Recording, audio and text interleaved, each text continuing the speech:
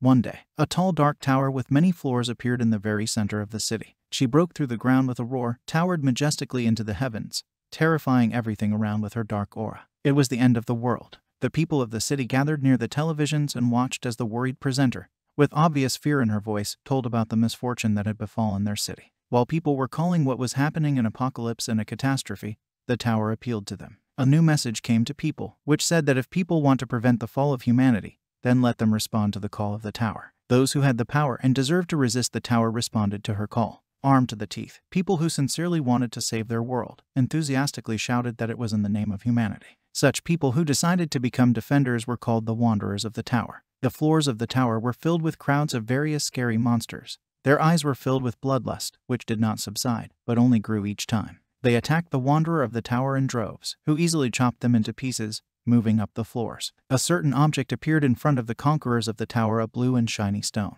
It was a revolving stone that allows the user to reverse time and return to the moment of summoning to the tower. The stone saved the user's memory. Also, it could be divided into parts and used separately. One of the wanderers of the tower took it from his hand and unshakably said that he would use it and then tell everything. In the name of use, the stone shone very brightly, illuminating the entire floor with light. The light was so bright that the others turned away, closing their eyes. When they opened their eyes, they realized that the user of the revolving stone had simply disappeared. At first, people had only two choices to rise or die, but now there was a chance to return. Many wanderers of the tower, realizing that they would not be able to contain such hordes of monsters, shouted that they had no choice and used a revolving stone. Many wanderers decided to return. The two wanderers of the tower stood and tried hard to rest. They hoped that these monsters were the last. Returning to the past allowed us to compensate for failures and mistakes. On one of the floors, there was a huge, scary monster spewing liquid magma from its huge mouth. The wanderer struck a blow, after which, wearily leaned on the sword. He turned his head back and heavily told his friend,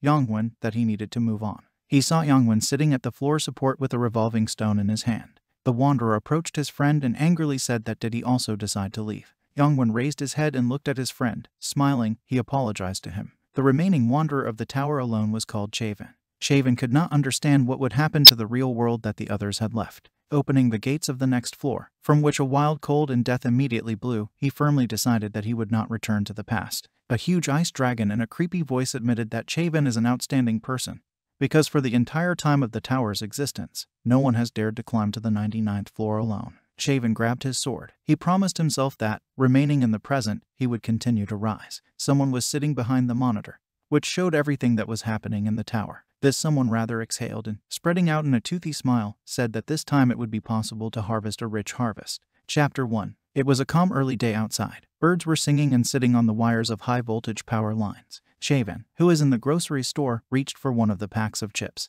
On the TV, weighing in the store, it was reported that lately, because of the yellow dust, it is difficult to see a clear sky. The pack of chips that Chavin took turned out to be full of holes and its contents fell to the floor. Chavin exclaimed in surprise, thinking that it was just a marriage. His little sister, who looked out from behind the shelf, was shocked. The little sister asked in distress if her brother was a thief and was trying to eat chips unnoticed. These, by the way, were her favorite chips. Chavin briefly replied that he did not, and began to collect what had fallen out. The news kept saying that today is not the best weather for a walk. Suddenly, the TV presenter began to say loudly that an earthquake had been recorded in the vicinity of Seoul, while the magnitude was small and there were no casualties. But monitoring agencies reported that the magnitude was increasing and asked to take countermeasures in advance. The chips that fell to the floor jumped noticeably on the spot. People started shouting on the street, pointing their fingers and filming something happening on their phones. The noise that filled the streets drowned out the news broadcast on TV. Chavin stared out the window of the store. People gathered in the street shouted.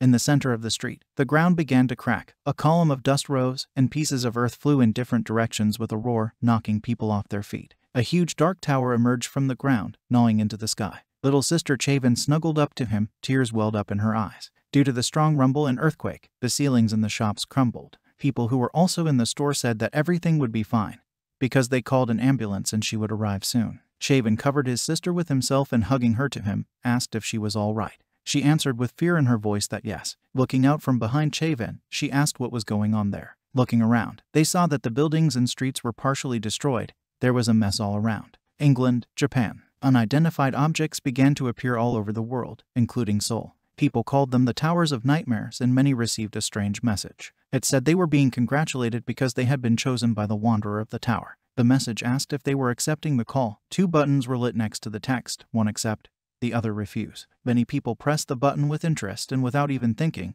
agreeing to accept the challenge and becoming wanderers. The message began to glow brightly and they were transported to the first floor of the tower. People who accepted the call and got into the tower received support from the interface system in the form of weapons, armor, and gold coins, and became able to acquire skills and items, just like in a computer game.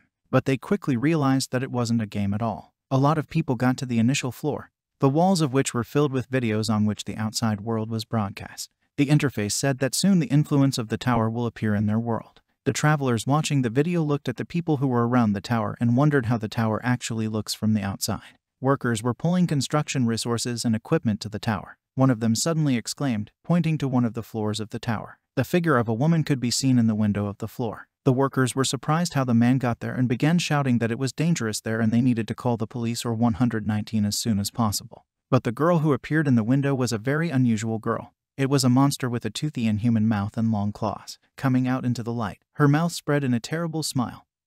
And when she growled, monsters began to run from behind her with a roar. The attack of monsters from the tower was the very influence reported by the tower interface. A siren wailed in the city, telling the population about the alarm, but the first pillar with microphones suddenly exploded, lighting up the street with fire. Tanks were pulled up to the tower, which opened fire on the monsters, but everything was to no avail. Some monsters, moving quickly, dodged shots, and some, larger and stronger, destroyed military equipment.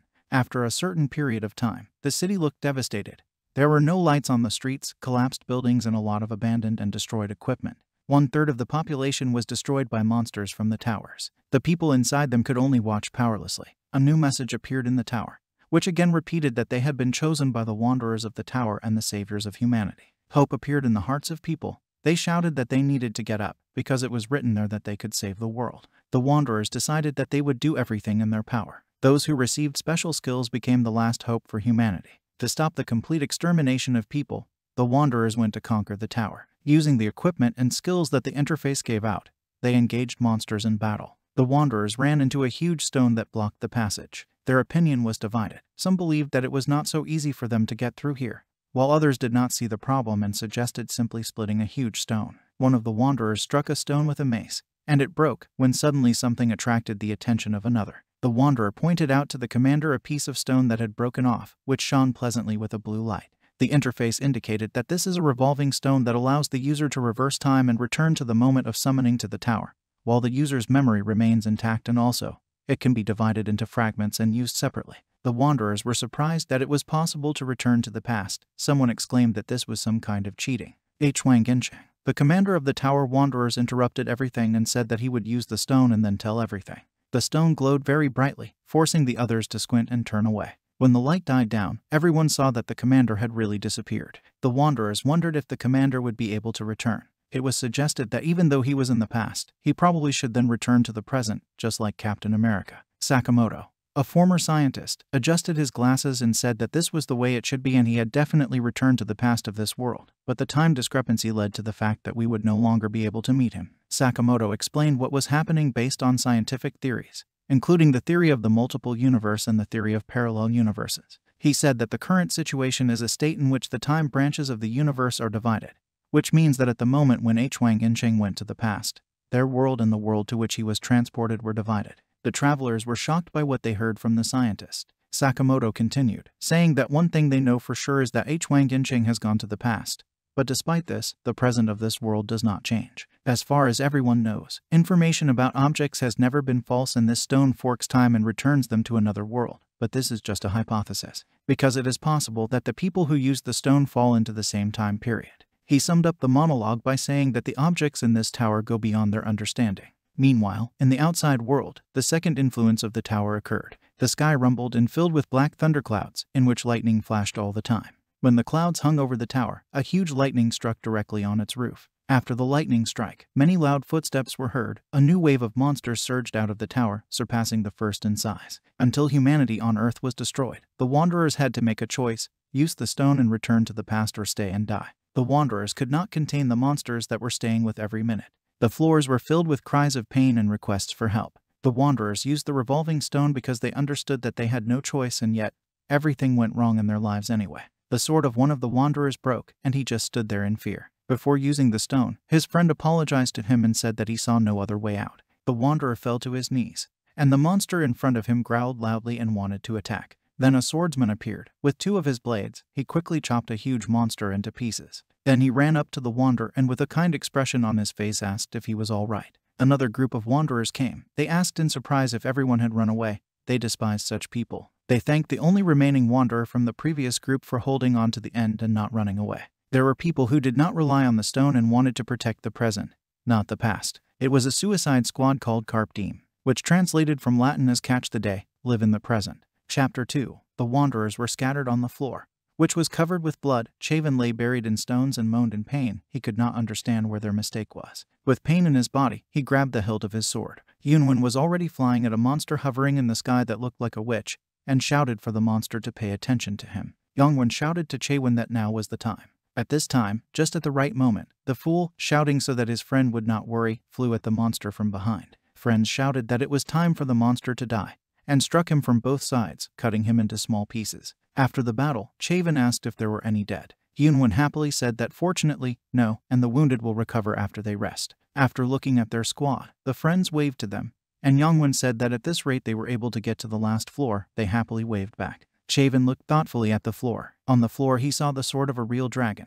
The sword of the owner of the 85th floor, which was forged for 1,000 days and nights to slay the dragon, the sword also had the energy of the sun and moon. Chavin approached the sword. Picking it up, he began to examine it contentedly, rejoicing that a powerful weapon also fell out quite by the way. Mentally agreeing with Yunwen, Chaewon, looking at his new weapon, admitted that perhaps they could really get to the last floor. Chavin, covered in abrasions, said he thought everything would go smoothly. With horror in his eyes, he looked at the terrible monster from the flaming jade room, 98th floor. A huge monster with an open mouth, from which steam was coming out abundantly, which was ready to attack. Seeing all this horror, what the monster did to his squad, and how he destroyed all their powerful weapons in one fell swoop, Chavin could only watch what was happening, unable to move. With one crushing blow, the monster threw the fool into the wall so that a large dent was left on it. Chavin, almost choking on his own blood due to the collision with the wall, began to lose consciousness. His last thoughts were that everything was in vain. Remembering all the good moments with his team, Chavin recalled all the trials that they managed to go through together. He couldn't believe that they had come all this way to die so pitifully in this place. Exhausted and having lost any hope, Chavin looked at the monster, which was preparing to finish him off, releasing lava from its open mouth. When suddenly Yongwen appeared behind the monster. With anger in his eyes, he attacked the monster. Chopping the monster into small pieces, Yongwen tried to shout to Chaewon, asking him to wake up. Chaewon, not believing his eyes, uttered the name of Yunwen with surprise, while he continued to shred the monster with all the hatred for the killed comrades. Yunwen wanted to say that he couldn't do it alone, when suddenly, the monster pierced him through with its horn. Chaewon watched in horror as scarlet and warm blood flowed from his friend's hands while Yunwen was pierced by the monster. Chaewon with incredible anger began to shout at his friend, calling him. The monster lifted off the ground with one sharp movement and with a terrible roar tore to the other end of the floor, piercing the wall with its horn. Watching the whole picture, the shocked Chaewon with all the anger and hatred clenched his teeth. Gathering his last strength, Chaewon picked up his weapon and headed towards the monster, pointing the sword directly in his direction. A strange white light began to appear from the tip of the sword, enveloping the stone next to the monster like a lasso. Surprised by this sight, Chavin asked himself what kind of light it was, but without finishing his thought, he flew towards the monster with incredible confidence in his abilities. Looking at all the devastation that remained after their battle with the monster of this floor, Chavin looked at the already harmless and lifeless body of the monster, from behind whose mouth steam was still coming out. Chavin was trying to catch his breath after a hard battle, greedily gulping air. Exhausted and tired, Chavin called his friend, who was sitting on the ground with his back against the wall. Seeing a serious wound on his friend's arm, Chavin was horrified and was about to say something. Suddenly, Yongwen interrupted him and apologized to him, trying to make it seem that these seconds were the last in his life. Chavin, watching this, remembered his friend, whose smile never disappeared in this cruel and dark tower. It was because of this that the Wanderers called him the Smiling Knight.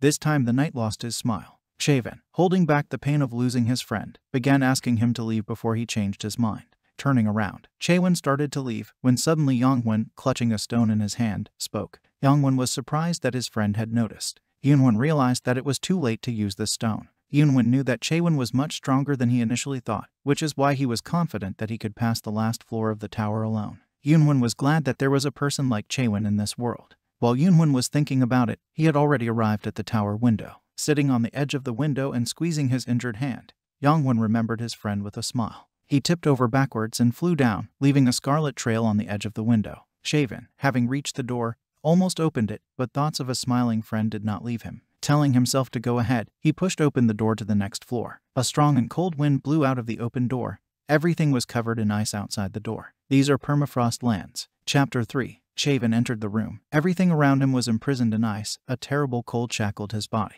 Because of the cold, breathing became heavy, thick steam was coming out of the mouth of the Chavan. The monster guarding this floor opened its huge mouth and prepared to attack. Magic spheres began to fly out of its mouth, which, when they came into contact with the earth, bound it with dense ice. Shaven ran back, dodging the attacks. It was difficult to stand on such a surface, because of the slippery snow and ice. The monster screamed loudly in a nasty voice so that the fool would give up. From his roar, snow and ice particles flew towards Chaven, cold breathed from the monster's mouth, which caused the skin on Chaven's arm to become covered with an ice crust. Smiling, Chaven replied with a grin that how could he? Was the monster already tired of him? Suddenly, an explosion thundered in the place where Chaven was standing.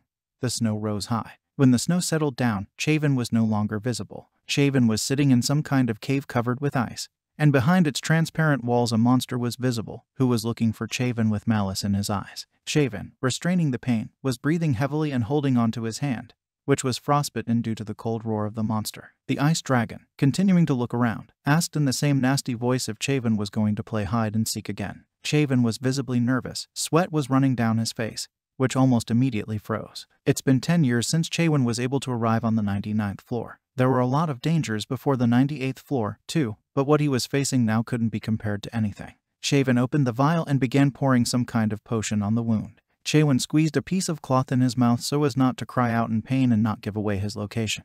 Then, when Chaven joked about the boss of the 99th floor, his name is the Ice Dragon Volkizos, he apparently got very angry and attacked him with an ice ray. The snow and ice rose due to the effect of the ice armor given to Chaven by Yunwen. Chaven sat and looked at his equipment. He realized that if it were not for the items of other wanderers that he managed to find, he would have been dead long ago. The thought made him sad, but at the same time he was grateful to them. Of the equipment, Chaewin had a real dragon sword from the 85th floor, an ice armor that Yunwen gave him and a Fire King bracelet. Looking at the bracelet, he felt very hurt in his soul. He closed his eyes and remembered Han Soil. Chaven is angry with himself, because if he was even a little stronger. He gripped the bracelet tightly and remembered an unpleasant moment from his life. And it was Han Soil, lying in blood on one of the floors of this cursed tower. Then a voice shouted to Chaven, who was urgently calling him. Bad memories and thoughts immediately receded. Chaven, sitting at the table, looked up with interest and apologized for not answering right away. The man who worked on the anvil asked him if he had decided to try again. Shaven quietly agreed and added that this time he would definitely be able to pass. He lifted the mug of drink to his mouth. Atopo's blacksmith Jay exclaimed joyfully. That was good news. The village where Chaven was located was founded after the destruction of the dragon Altaminos,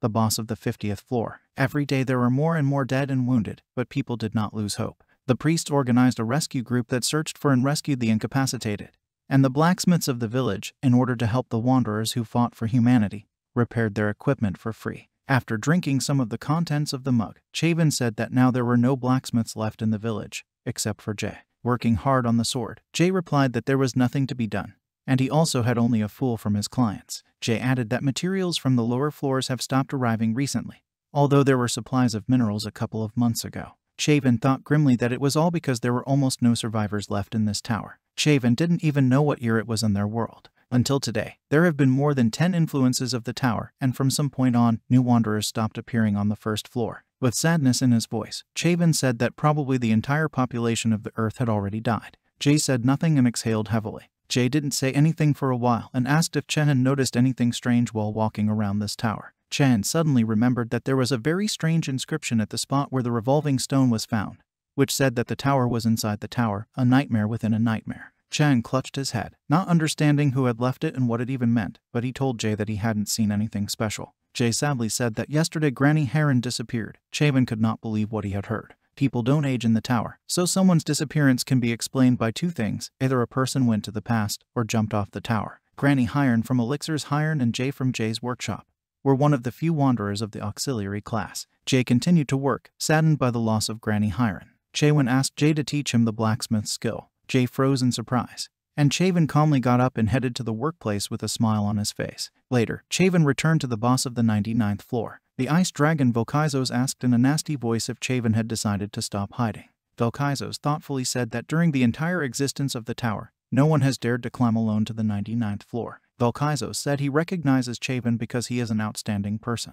Chavin exhaled with a smile. He could not imagine that the last person to recognize him would not be a man, but a monster. Chavin said that after such flattering words, he was sorry to kill him. Velkaizos replied that he did not want to disappoint Chavin, but he would not succeed. Chavin bared the blade of his sword and defiantly asked if the dragon really thinks so. Chavin took a stand and said in a serious voice that the vaunted armor of the ice dragon began to crumble a little. Velkaizos, hearing the words of Chavin, flew into a rage. He called him a cheeky little man and opened his huge mouth, preparing for an attack. While the dragon was saying that the games were over, Chavin had already jumped towards him with incredible speed. Chapter 4 The attack of the ice ray of the dragon hit the Chavin and he flew violently into the icy rocks. Blood splashed in different directions. Chavin was badly wounded. Velkaizos, looking at Chavin, said in a nasty voice that he saw that he had decided to fight to the end. Velkaizos said that even if Chavin could hold out, he would still not be able to escape from fate and in the end emptiness and loneliness would await him. Ice magic, in the form of the Wanderers of the Tower, began to bind the body of Chavin with its fetters. Chavin called out to the dragon and panting,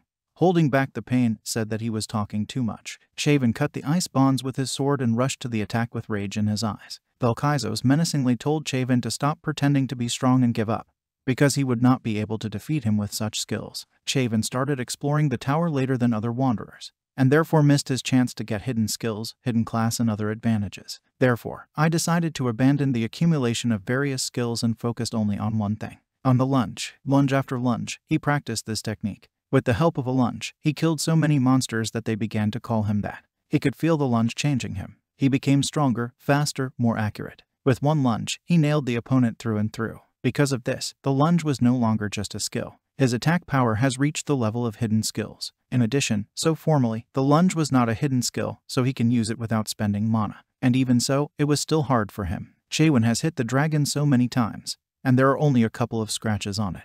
Velkaizos opened his mouth to attack. Chavin realized that it would be too late to evade. Then he noticed some strange, hard to see light on the dragon's face. He guessed. He had seen such a light on the 98th floor at the Flaming Jade. If it was really him, then. Chavin gripped his sword tightly and took aim, shouting furiously, preparing to attack. Chavin hit the dragon with all his might. The monster's legs gave way. The light intensified, ice pieces of the dragon's face flew in different directions. Chavin landed on the ground and looked at Velkaizos. Velkaizos shouted furiously that how dare a fool. The dragon was missing one eye. Instead, there was a black hole, and the entire left side of the face was terribly disfigured. Chavin grinned and said that this was not enough either, because he planned to chop off his entire jaw. Velkaizos angrily asked if Chavin was so confident in himself, since he had wounded him only once. The dragon flapped its huge wings and took off, saying that it would put an end to this now. He began to attack Chavin with ice rays. Practically without stopping, he barely dodged. Chavin was annoyed that it was an air attack again. Chavin realized that he had no chance of winning. He stumbled and fell to the ground.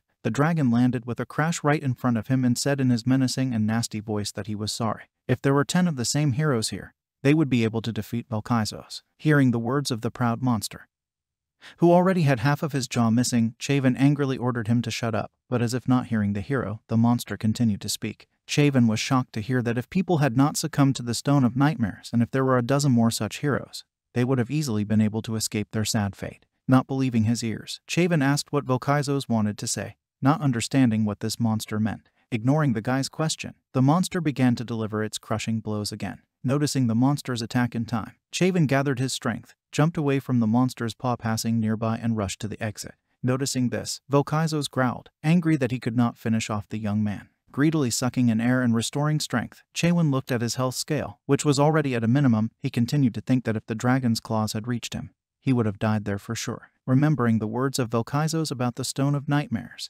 the guy, covered in sweat and abrasions, began to gradually understand what the monster was talking about. Five years later, this mighty and proud keeper of the floor was crushed. Along with the victory over the monster, a large number of notifications began to arrive about the new title, about getting the maximum amount of experience, about getting the maximum level, about physical development, and about increasing dexterity. After a flurry of alerts, Chavin sighed wearily and completely without interest, sitting on another defeated enemy. The young man, deciding to find out again about the nightmare stone that was bothering him from the still living Velkaizos, rudely ordered him to speak. The monster, without giving any specific answer, said that the guy already knows the answer and the whole truth will be revealed on the top floor. With these words of his, he further confused the already incoherent thoughts of Chavin. Chavin was looking at a new artifact. It was an ice dragon sword that contained the breath of an ice monster. Chavin received it after defeating Belkizos. He stared at the artifact with incomprehension, surprised that this weapon looked more like a dagger than a large and dangerous sword. While Chavin was looking at his replenishment in the arsenal, the black liquid on the ice began to stir and boil. Soon it turned into a passage to the long-awaited hundredth and last floor. With complete confidence and determination in his eyes, Chewin headed straight for the aisle. He gradually disappeared into the dark curtain of the newly formed door, leaving behind the ice blocks of the 99th floor. After Chavin entered, the door disappeared without a trace, as if it had never existed. Chapter 5 Sticking his head out of the impenetrable haze of the passage, Chavin began to look around the new floor. He saw a lot of monitors that opened up a view of the entire tower. All the images were familiar to Chavin, such as the summoning room at office. Then the flow of thoughts of Chavin was interrupted. The voice seemed not to expect to see him so soon and said that he thought he would go to the village first. Not expecting to hear someone, the hero automatically stood up in a stance and prepared to draw his sword, looking cautiously in the direction of the voice. Something from the shadow asked Chavin to wait while it was preparing something and offered him a little rest. While Chavin was perplexed by what was happening, he received a notification congratulating him that he was the first to complete tutorial 294 and that his outstanding achievement would forever be recorded in the Eternal Library. Chavin stood in perplexity. Unable to move, he did not understand what was happening and what kind of tutorial it was. He was thinking about his no longer living comrades. A flood of memories flooded into his head. The voice, seeing his shocked state, spoke again, trying to calm the guy down. The voice asked him not to take everything to heart, otherwise the flow of feelings would drown him. The owner of the voice began to appear from the shadows. It was a strange monster, unlike the others. It can be described as a man with the head of a black lion. He was dressed in a serious suit, and his eyes were burning bright yellow. The monster started talking again about how it was already too late and with self-respect pitied the guy, saying that for a human he did well. But when he saw that the tsunami that began to overwhelm Chavin, he did not care. The monster fell into a stupor. At this time, Chavin was looking at the lion without any interest. The monster was shocked that Chavin had recovered so quickly. The wary Chewin wondered who it was. The monster, remembering that he forgot to introduce himself because of the joy that he had met Chavin, began to fumble and worry. After all, Chavin was the only one who could reach the hundredth floor, and even alone. Finally, the monster introduced himself. This mysterious creature with the head of a lion was a demon named Beastrain. Beastrain was the master of the Tower of Nightmares, which Chavin had just passed. Chavin continued to worry about the fact that if he had just passed the tutorial, then there was a game based on it.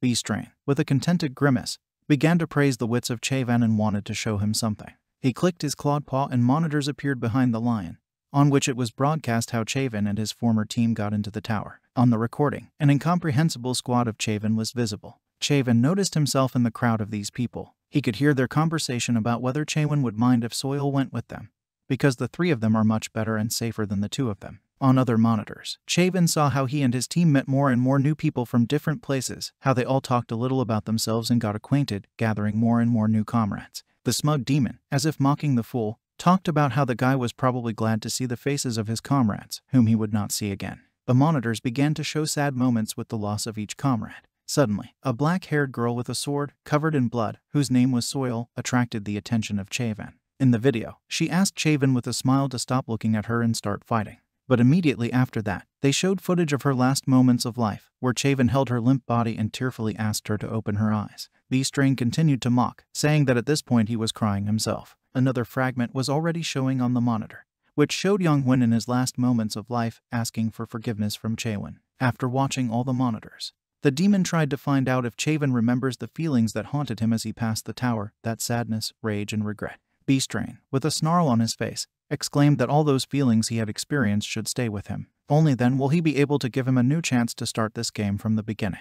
The demon thought this was a great offer for a fool, because in the human world this can only happen in a novel, start all over again, preserving your memories. Chavin could not believe what he had heard. He thought that this was the end and as soon as they passed the tower, the world would be saved. Remembering the first notification I received with congratulations that Chavin was chosen as a wanderer of the tower who can save the world. Chavin realized that it was all a hoax from the very beginning. He thought that it was impossible to stop the influence of the tower. They have been fighting all this time against something that cannot be defeated. The savior of humanity should never have appeared. Throwing back the abyss of thoughts, Chavin, with full determination in his eyes, turned to the demon, saying that Beastrain already knows that the young man is not going to return to the past. Hearing this, the demon laughed nervously, and at the same second, his head grew in size. Opening his fanged mouth, he headed towards the Chavin. Looking at the guy, Beastrain decided to explain everything to him in more detail. He said that no object on the whole great earth could send him into the past, because there is no object with such properties. Chavin did not understand what this demon was carrying,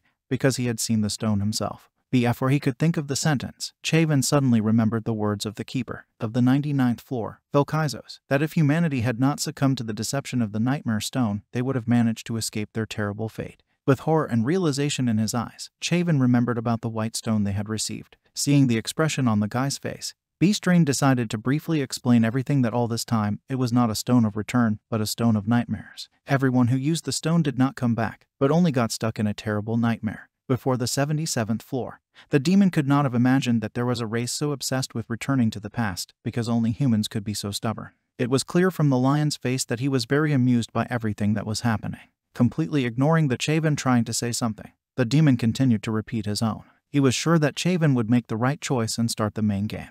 But as soon as an alert icon popped up in front of Chavin and asking if he would go through the game further, the guy immediately pressed the no button. Seeing this, Beastrain's eyes bulged as if he didn't believe what was happening.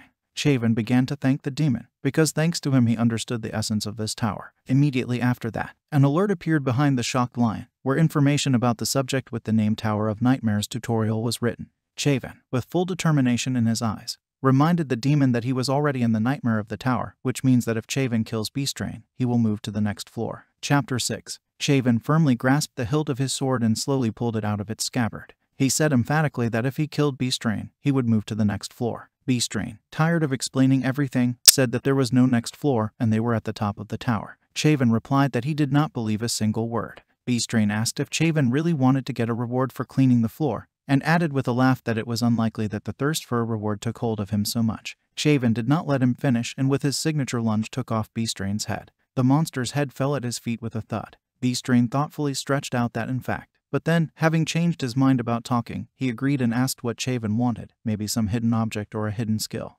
Beastrain was ready to give Chavin anything he asked for, because he deserved it. Chavin rudely replied to the cut that he didn't need anything. Raising his mangled head, Beastrain asked if Chavin did not want to return home. Beastrain said he thinks that Chavin has already realized that the tower is a complete nightmare, which means that nothing happened outside. Not believing in the words of the monster, Chavin, stammering, asked what it meant. Then he heard a conversation between two girls behind his back, connected with the lateness of one of them. He turned his head in the other direction and saw a group of guys who were talking about tickets. Chavin, not believing his eyes, asked what it was. Beastrain laughed slowly and said that at last Chavin began to understand everything, that no one was killed. Beastrain thoughtfully asked if it wasn't amazing. Peeping into the phone of some person, Beastrain added that for such a brave hero, this should be good news. Beastrain snapped his finger, saying that he almost forgot the most important thing. They moved back to some place. There were voices that said that the patients were still unconscious. Chavin looked around the dark room, in which there were many hospital beds with people. Chavin approached his body, connected to a life support device, and asked if it was really him. Beastrain asked if it wasn't amazing. He also explained that many years had passed in the tower,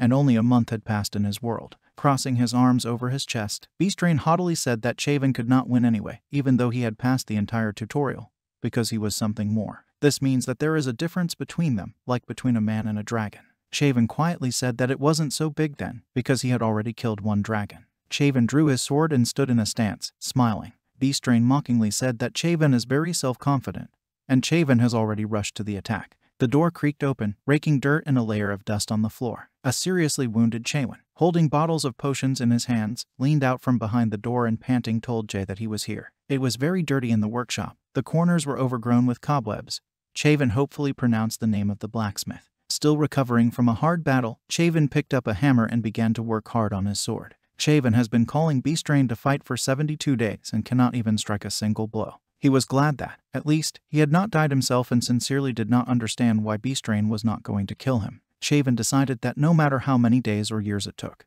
Beastrain was sitting in front of the screen on the 100th floor and looking at Chavin. He tightly clenched his fist and told himself to hold on, because Chavin could be sold well. Beastrain called Chavin his special commodity. He thoughtfully raised his hand to his face and said that as a manufacturer, it was the first time he had seen such a person. The manufacturers must ensure that the goods safely take root on the Great Earth thanks to a two-stage processing process. In the first stage, the seeds are sifted out better. It is thanks to the tutorials that you can find a good product. In the main game, the processed seeds will begin to bloom violently. In other words, in the second treatment, our expensive sprouts are provided with water and fertilizer. Beastrain was angry that the seed refused to grow. He wondered if he could just be killed, because death in the tower does not mean that his soul will die. For example, after his death in the tower, Yongwen lives quietly in his own world. Beastrain became nervous that suddenly after death the seed would deteriorate. After such damage to the goods, the collectors will definitely not get rid of it. Beastrain gripped the corner of the chair tightly with his hand and decided that he needed to grow it well and sell it, then he could become a demon of the highest class. And he still had to pay off the debt for the purchase of the tower. Beastrain was glad, because even the gods wanted to buy Chaven, even though they don't work with the demon world. Then the portal to the 100th floor opened. A Chaven flew out of it incredibly quickly and attacked the Beastrain. Beastrain calmly repelled the attack with his magic and asked what Chaven wanted, because he must have some kind of motivation. Chaven kept hitting and hitting, but it was unsuccessful. Beastrain again asked if it was time to give up. Beastrain tried to persuade him, saying that if Chaven moves into the main game, it will be better for him, then there is no point in resisting. Beastrain was angry that Chaven did not respond to his persuasions and snapped his finger and pretended to laugh. After the click, the Beastrain disappeared. Chaven was shocked by this. Chaven noticed the presence of the enemy behind his back and quickly turned around to attack. But at that moment, an ice block flew into him with great force. Chaven coughed up blood. Beastrain grabbed him by the neck and shouted furiously for Chaven to finally tell him what he wanted. Beastrain was willing to give Chaven any hidden skills and hidden objects. He didn't understand why he was doing this nonsense. Chaven calmly replied that he wanted to kill him and move on. Beastrain angrily shouted that he was hearing this nonsense again, and asked what he needed to do to get Chaven to agree to switch to the main game. Chaven realized that Beastrain was caught and he finally ran out of patience. Chaven said that then he would ask him a question. A little later, Beastrain sat and told Chaven in a serious tone that he did not want to frighten, but there are many different universes in the world. Chaven and Beastrain were sitting across the table from each other. Chaven replied that he knew, because everyone on Earth knows the theory of multi-universes and parallel universes. Beastrain was very surprised by this. Beastrain said that if so, then he would move on to specifics. He began to explain that there is a main dimension called the Great Earth, and there are already many subworlds under it. The Earth, Chavana, is only a subworld existing among the rest, and she calls their planet Mir 294. Beastrain continued that thanks to the Tower of Nightmares, Wanderers upgrade their skills, accumulate items, and get used to the system of the Great Earth, getting a chance to go to a new world. Demons like Beastrain look after the game and influence its course. Chaven menacingly asked why the demon was doing this. Beastrain smiled all over his mouth and said that it was hard to say, and he didn't think it was really interesting for Chaven. Beastrain snapped his finger. They found themselves in Seoul in front of the tower. The demon asked if he understood correctly that Chawen wanted to know why the tower appeared in his world. Beastrain kept asking if Chaven wanted to know why he and his apprenticeship were destined for such a fate. Beastrain smiled and said that the land was chosen absolutely by chance, to which Chaven interrupted him and said that was enough. Chaven menacingly said that he had asked a question, and repeatedly asked why Beastrain was running the Tower of Nightmares. This question took the demon by surprise. He asked again uncertainly. Chaven again asked if Beastrain would receive a reward for this. The demon hesitated and lied that it was more like charity. Beastrain pretended to laugh and said that he could see that Chaven did not believe him. He began to try to convince Chaven, saying that in fact demons love charity and some of his friends are just quietly watching the wanderers, and some can interfere and help their pets. Then the Beastrain received a message from the owner, which said that the product was not yet at the stage of maturation, so it could not be killed and negotiated. After reading it, Beastrain realized that he had broken the rules. The demon asked Chaven again if he believed him, to which Chaven angrily replied that no. Chapter 7 User Information Name, Chaven. Level, 100, the limit has been reached. Title, Conqueror of the 99th Floor. Class, Swordsman. Unique ability, Willpower. Status information. Strength, 100, the limit has been reached. Dexterity, 100, the limit has been reached. Survivability, 100, the limit has been reached. Will, 100, the limit is reached. Magic, 100, the limit is reached. Chaven was sitting on the 99th floor in front of the portal to the 100th floor and was considering his characteristics. He was drinking a restorative potion. He has nothing else to raise, but he still fails to win. He collapsed on the snow and exhaled. He suggested that the limit for all people might be the system of this world. Suddenly, he felt a lot of pain. He jumped up and clutched his chest. He could not understand what this strange feeling was. Then he noticed some strange particles that were flying in the air. Chaven thought it was an illusion and grabbed one such piece. They were spinning in the air and looked like pieces of stuck sugar, taking on new and new forms. Then Chaven instinctively realized that they were part of any world. That means it doesn't matter what form they take. Chaven angrily said that volunteering from the mouth of a demon sounds ridiculous. He noticed a message behind Beastrain and asked who the owner was. Beastrain was glad that Chaven finally became interested. He began to explain that the owners are the rulers of the great land, and the winners of the main game can go there and receive special patronage of the owners. Chavin asked what kind of special patronage it was. The demon agreed and said that the future of Chavin will change depending on which patron he chooses. Beastrain hugged Chavin and put a claw to his cheek. The demon said that if he listened to him, then he, Beastrain, could give him the word and choose someone really worthwhile as a patron, but of course, if the fool agreed to participate in the main game. Chavin looked wearily at the demon. Chavin told the demon that he was like a pesky salesman of some company. Beastrain asked with interest why this was so. Chavin, deciding not to answer the demon's question, said that he agreed to do as the demon wanted, but he would leave this place in exactly 10 days. Nine days later, Chavin has been training hard to do his signature punch lunge. The demon, who was watching him through the monitor, laughed, saying that Chavin only does what he trains. Beastrain wondered how much Chavin wanted attention. Beastrain couldn't wait to send Chavin to the main game and calmed himself down, saying that there was very little left. He regretted that he had gone along with the nightmares and bought this useless tower. Beastrain got angry and shouted that it was all because of the maintenance workers. He was told that the tower was built by a nightmare master and that this is the oldest building of the first generation of construction. A picture popped up in his head of how the tower salesman was telling him that this was a once-in-a-lifetime opportunity. If it were a third-generation tower, he would be able to complete the tutorial with his own hands without harming the product in any way. Beastrain imagined how all the wanderers were surprised that there was no opt-out button. In this junk from the first generation, I can't do anything without the consent of Chavin, and Chavin stood his ground and refused, wanting to kill the demon and move to the next floor. Yes, nothing can be done. Poverty is the worst thing that could be thought of. Beastrain exhaled heavily and stretched out on his couch. He was sincerely glad that tomorrow everything would come to an end and he would send Chavin to the main game. Mandatory hints to start the main game. What is the Tree of Illusions? The origin of the root of the Tree of Illusions, the structure of the Tree of Illusions, the food of the Tree of Illusions.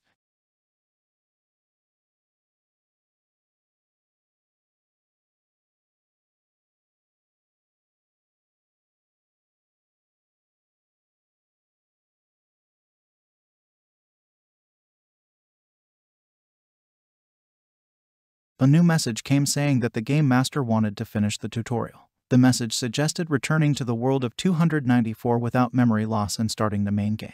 Under the question of whether the user agrees, two buttons burned brightly, one yes, the other no. Beastrain happily asked if Chavin had learned everything he had sent him. Chavin, looking at the message in front of him, replied that and thanked him. The demon has already endured and asked Chavin to agree faster. Beastrain began to rub his eyes and happily said that he had been waiting for this for a very long time and from the overflow of feelings he would now start crying. At this moment, the sharp blade of Chavin's sword cuts into the demon's face and blows her to pieces. Beastrain menacingly asked what Chavin was doing, to which he replied that the demon himself understands everything perfectly, saying that right now he was going to kill him. Chavin rushed to attack. After the particles became visible, it became difficult for Chavin to make lunges. While striking, it's as if something stops him, as if a new feeling has awakened inside. Chavin skillfully dodged the demon's blows, striking more and more blows, successfully conducting strikes. Chavin happily thought that maybe this is the taste of life. But then a magic circle appeared under his feet. Iron stems emerged from the floor and bound the body of Chavin. It was plants of the 91st floor, a forest of black iron,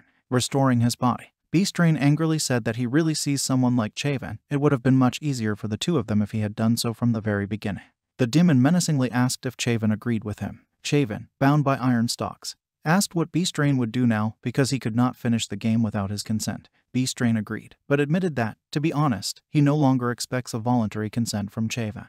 This time it was Beastrain who wanted to ask a question. The demon asked how Chavin thinks, why this tutorial keeps going on and on. Beastrain explained that the Mosquito Tower automatically closes the game 100 days after the end of the tutorial. Hearing this, Chavin was shocked. The demon kept saying that now he would just leave him here and he would quietly move into the main game. Chavin gripped the hilt of his sword tightly and said that in the great land of Beastrain they call a flattering gentleman. Hearing such information, the demon's eyes widened in surprise. Chavin went on to say that Beastrain lived 784 years and visited 128 worlds all the while selecting and killing wanderers. Beastrain angrily asked how Chavin knew all this. Chavin asked if it was true that Beastrain wanted to give it to the collector under the name of the Black Lord. Visibly nervous, the demon asked Chavin who he was. Chavin smiled and asked who he was, because he was a commodity grown by him for several decades. Chavin conceived and said that, although there is no more, he hit the iron forest bonds with force. Chapter 8 Chavin, with a smile on his face, said that he was a commodity that had been grown for several decades by Beastrain. After thinking for a while, he added that there was no more, and forcefully struck his sword against the fetters of the iron forest. From the strong impact, the floor Walls and ceiling cracked, and their stone pieces flew in different directions. Among the rising dust and a piece of the room, some kind of blue glow appeared. It was getting closer all the time, and it became clear that it was a Chewin flying towards the demon, preparing to attack. The blow landed on his left shoulder, and Beastrain became visibly nervous. Beastrain ran at Chavin to launch a counterattack. But Chavin easily beat off all his blows with his sword. The demon noticed that the wound on his shoulder was not recovering. He grabbed his sore shoulder and stopped. Squeezing his shoulder to somehow calm the pain, Beastrain said that it was impossible. He looked at Chewin's sword, which had taken on a completely different look. Now it looked a lot menacing. The demon, not believing his eyes, asked if his sword was over-adapted, to which Chavin simply looked menacingly in response. The first day after reaching the 100th floor, Chavin began to doubt maybe this tower is also part of a nightmare. Doubted it was possible, Beastrain just couldn't kill him. Doubted it was possible he had reached the limit for all people. Then these small particles began to gather into bizarre messages, one of which was addressed to the Black Lord and informed that the first selection would end very soon. After so many doubts, when he had nothing to think about. When Chavin had nothing to think about, he realized the lunge, his signature blow. Chavin attacked Beastrain with renewed vigor. His lunge was new, the lunge had great power, sweeping away everything in its path. With each new blow from Chavin, Beastrain became more and more nervous. Realizing that his business was bad, Beastrain got very angry and shouted one of the commands to the tower link. An inscription lit up in the air, which stated that all time restrictions had been lifted. After removing the restrictions, the Beastrain seems to have assumed its true form because it already looked different. With all his anger, the demon rushed to the attack, shouting that he would not hold back anymore and that the fool would surrender. Beastrain was hitting Chavin, continuing to shout that in order to master the second level of adaptation immediately after completing the tutorial, an extraordinary talent is needed, but Chavin is still a stupid person. Beastrain pressed on Chavin with more force, shouting, he will never defeat him, Beastrain. Chavin tried to dodge, but the wounds on his body still became more. He wondered if this was how it would end. Chavin turned the hilt of his sword in his palm and gripped it tightly. Chavin began to strike back with incredible speed. The number of attacks he made during his entire stay to the tower almost reached 10 billion. Beastrain angrily shouted that the main game would start, so that the Chavin would not do it. When he made one of the strokes, the counter finally reached such a huge figure, something flashed in Chavin's eyes. Chavin dodged the demon's blow and jumped back. He remembered the floor keepers and realized, that's it. He lunged. His sword glowed with a bright light. Some blue particles began to appear around the sword. Beastrain, seeing this blow, angrily said that no, Chavin did not just adapt. The blow of Chavin reached the demon. Everything lit up with some strange golden light. Beastrain could not believe that this was happening. The demon screamed loudly in pain. Some kind of blue stream of energy gushed out of his wound, which swirled around him. Beastrain fell to the floor, and Chavin raised his sword over him, telling him to listen to him one last time. Chavin menacingly said that people are not so weak as to be ordinary pawns. People are not just a commodity on which you can bet and sell more expensive to whomever you want. Beastrain was lying on the floor, but he looked somehow strange. Chavin said that he was no longer going to follow the path they had prepared and brought the tip of the sword closer to the demon's face. Looking up, he said he was going to go to the next floor. There was nothing left of the strong shell of the Beastrain. Now it looked like some kind of strange little bat with a lion's head. Chavin, looking at the crumbling ceiling of the tower, was going to go higher and higher until the world they had so carefully built came to an end.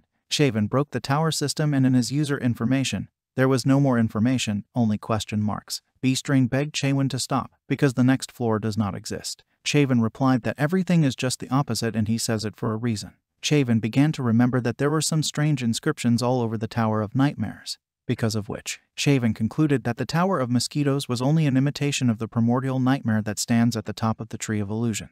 At first he couldn't figure out what the top of the Tree of Illusions was, but he realized one thing for sure, that these were the records of Molark, the creator of the tower. The message said that the name of the tower, the Tower of Nightmares is a tutorial.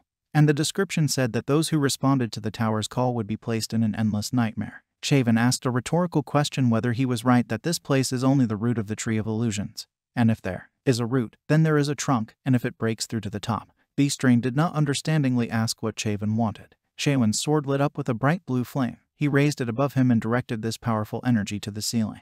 Beastrain screamed loudly, realizing that his tower would be destroyed. The tower began to collapse. The system reported that the tutorial is temporarily closed. The system detected an error loading the tutorial, which is why the download was not completed. The system began to search for the wanderers of the Tower of Nightmares, but also found nothing. The system reported that the cleaning of the game failed and the tutorial is completed. Chavin opened his eyes. He was lying on some beach, there were palm trees around and the sun was shining brightly. Chavin exhaled heavily and got to his feet, looking around. Seeing strange footprints leading somewhere deep into the forest, Chavin said that he had finally found him. Chapter 9 Suddenly someone's gray paw appeared. It was a pack of wolves. But they did not look like ordinary terrestrial ones. They were a couple of times larger and several times scarier. They surrounded Chavin with a roar. Their eyes were bloodshot and eager to finish off the prey as soon as possible. Suddenly, one of the wolves rushed to the attack. Chavin calmly carried out a small lunge and punched the wolf in the stomach. But then the leader of this pack appeared, an unimaginably huge wolf with huge teeth and red eyes. The leader was so strong that the ground sank under his paws. Looking at the huge wolf, Chavin realized that a small lunge would not be enough for that big boy. He gripped the hilt of his sword tightly and made a normal lunge. With this blow, he pierced the wolf's chest, from which he growled loudly. Chavin tore off their horns from the defeated wolves and came to the conclusion that the monsters here are somehow weak. Then he noticed something strange. Chavin looked to the side and saw some strange monsters that looked like people, but they were green and had some kind of antennae on their heads. One of these monsters screamed, poking at the fool with his finger, but his speech was not clear, but it seems he asked to immediately give the wolf's horn. Chavin, even with suspicion turned on, could not understand anything. Chavin pointed to the horn behind his back and said that he was offering a deal. He was giving them the horn, and they were giving it to him. But the monster did not let him finish and attacked. Chavin dodged the blow and was not even surprised that he could not agree. The monster continued to try to hit Chavin, to which he, calling the monster an antenna, warned that if he did not stop, he would kill them all. The monster did not even think to stop and the fool, taking out his sword, chopped these monsters into small pieces. Chavin was sitting on one of the monsters and asked if he wanted to tell him where they were at all. Chavin presented a sword to the monster's throat, to which he shouted something barely legible. Chavin grabbed the monster by the antennae that were on his head and pulled on himself. The monster screamed, writhing in pain. Chavin asked again if the monster could speak normally, but in response he heard only screams. The monster screamed that he would definitely kill the fool and bit off his tongue with his sharp teeth. Holding the torn off antennae of the monster, Chavin asked the already dead monster why he bit off his tongue. Chavin thought they were just bugs, but they have an indomitable will. After looking at the antennas in his hands, Chavin dug them into the ground and went on. In the end, he didn't find out anything, but hoping to find something useful from them, he began searching the corpses of monsters. Chavin found a small backpack of dimensions, accommodating 2 cubic meters of space. After examining the bag, Chavin realized that this item works as an inventory. He was glad of this, because after leaving the Tower of Nightmares, the interface system no longer works, everything stopped working at all. Putting the horns in a backpack of dimensions, Chavin said that he thought that such a thing was used everywhere on the Great Earth. A little bit resentfully, he cursed the deceiving lion. After examining the colorful stones that he collected from the monsters, he was glad that at least suspicion shows information about the items. After examining one of the stones, suspicion showed that it was a soul stone that increases spiritual energy. Each of the monsters kept one of these multicolored stones with them. Chavin suggested that they could be local jewelers. In any case, it was better to take these stones with you and Chavin put them in a backpack of dimensions. Chavin said that he would not like to leave everything else here, but then he felt something strange. His sword began to vibrate. Chavin took out his sword and sat down in front of the equipment. He pointed the sword in front of the equipment, when suddenly the sword had a huge mouth with which it began to devour the remaining equipment. Chavin was shocked by what he saw. After he left the tower, the sword behaved strangely. Chavin sat and watched the sword eat and thought, are they really so delicious? Chavin looked around at everything that was left after his sword had eaten, and noticed the map. He opened the map, and its upper part was written Tree of Illusions Chaos. Chavin did not understand what kind of chaos it was, because the demon did not talk about it. Somewhere in the depths of the forest, many footsteps could be heard. Another pack of horned wolves, tail between their legs and with fear in their eyes, was running away. Behind them ran a group of people, one of whom was a girl with red hair. The girl threw her blade and hit the man's knee. She pretended to put her hand to her mouth and apologized, saying that she accidentally threw it and she would rather hunt in the distance. The man replied that it was okay. The man got angry and decided that he would forgive her once, but only because of her charm. He hoped she wasn't so stupid that she'd hit him right in the knee by mistake. The girl apologized for something again, and the man shouted what happened there again. The ground shook under their feet. The members of the squad shouted that there was a two-horned one behind them. A huge two-horned wolf growled menacingly and rushed at the squad. The girl, laughing, ran away from him. Someone in the squad ordered everyone to step aside. Chavin watched them from the cliff. The girl seemed to him the strongest in the group, but it seems that the relationship in the group was not very good. He believed that because of such carelessness they would die and sincerely did not understand how they were able to pass the Tower of Nightmares. The man shouted for everyone to attack. He used the breath of the King of Fire. Flames began to spin around his body and weapons. The girl shouted that she would help him and flooded the man with water, from which all his fire went out, and he screamed. The girl laughed happily. The man turned to face her and called her names, to which she made an innocent face and said she just wanted to help him. The man looked at the girl and shouted that he did not need such help. At that moment, the wolf almost reached the man with its mouth. The squad members called him Hyan and shouted at him to be careful. Chavin realized that he needed to help them and jumped from the cliff to attack with lightning speed, flying from top to bottom.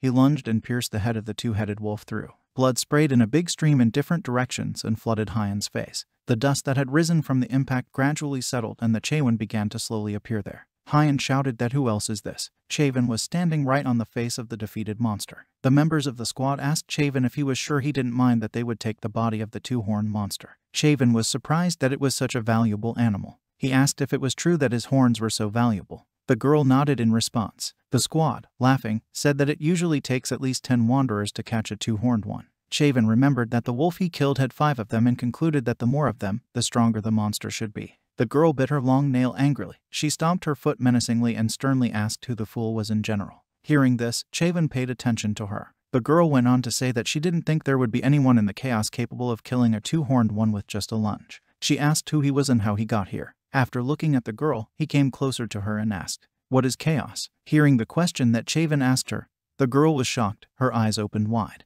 Chapter 10 The girl, surprised and loudly exclaimed, Who is a fool at all? They were walking through the forest and the members of the squad questioned him. Hyan asked if it was true that his name was Chewin. Chavin agreed. Hyan asked if he was just passing by. Chewin agreed again. With some disbelief, Hyan asked if Chewin didn't even know the local language. Chewin agreed again. Hyan replied that it was very strange, because the language barrier is a rarity. The girl asked if everything was exactly right, because he was giving the whole corpse to them. Chavin agreed again. The girl was walking behind Chavin and did not believe that he was just passing by especially since Chavin killed the two-horned one without even using skills. The girl tried to use the skill on him, but the system informed her that she could not use the skill. The girl was surprised that she could not even study it. The system reported that the search for information was impossible. She wondered again who he was at all, because judging by the spiritual energy, he was not an adapter. She seriously told Chavin that she was interested in something, and added that she didn't think there were so many guys in Chaos who could kill a two-horned one with just a lunge. The girl ordered him to tell who he was and where he came from.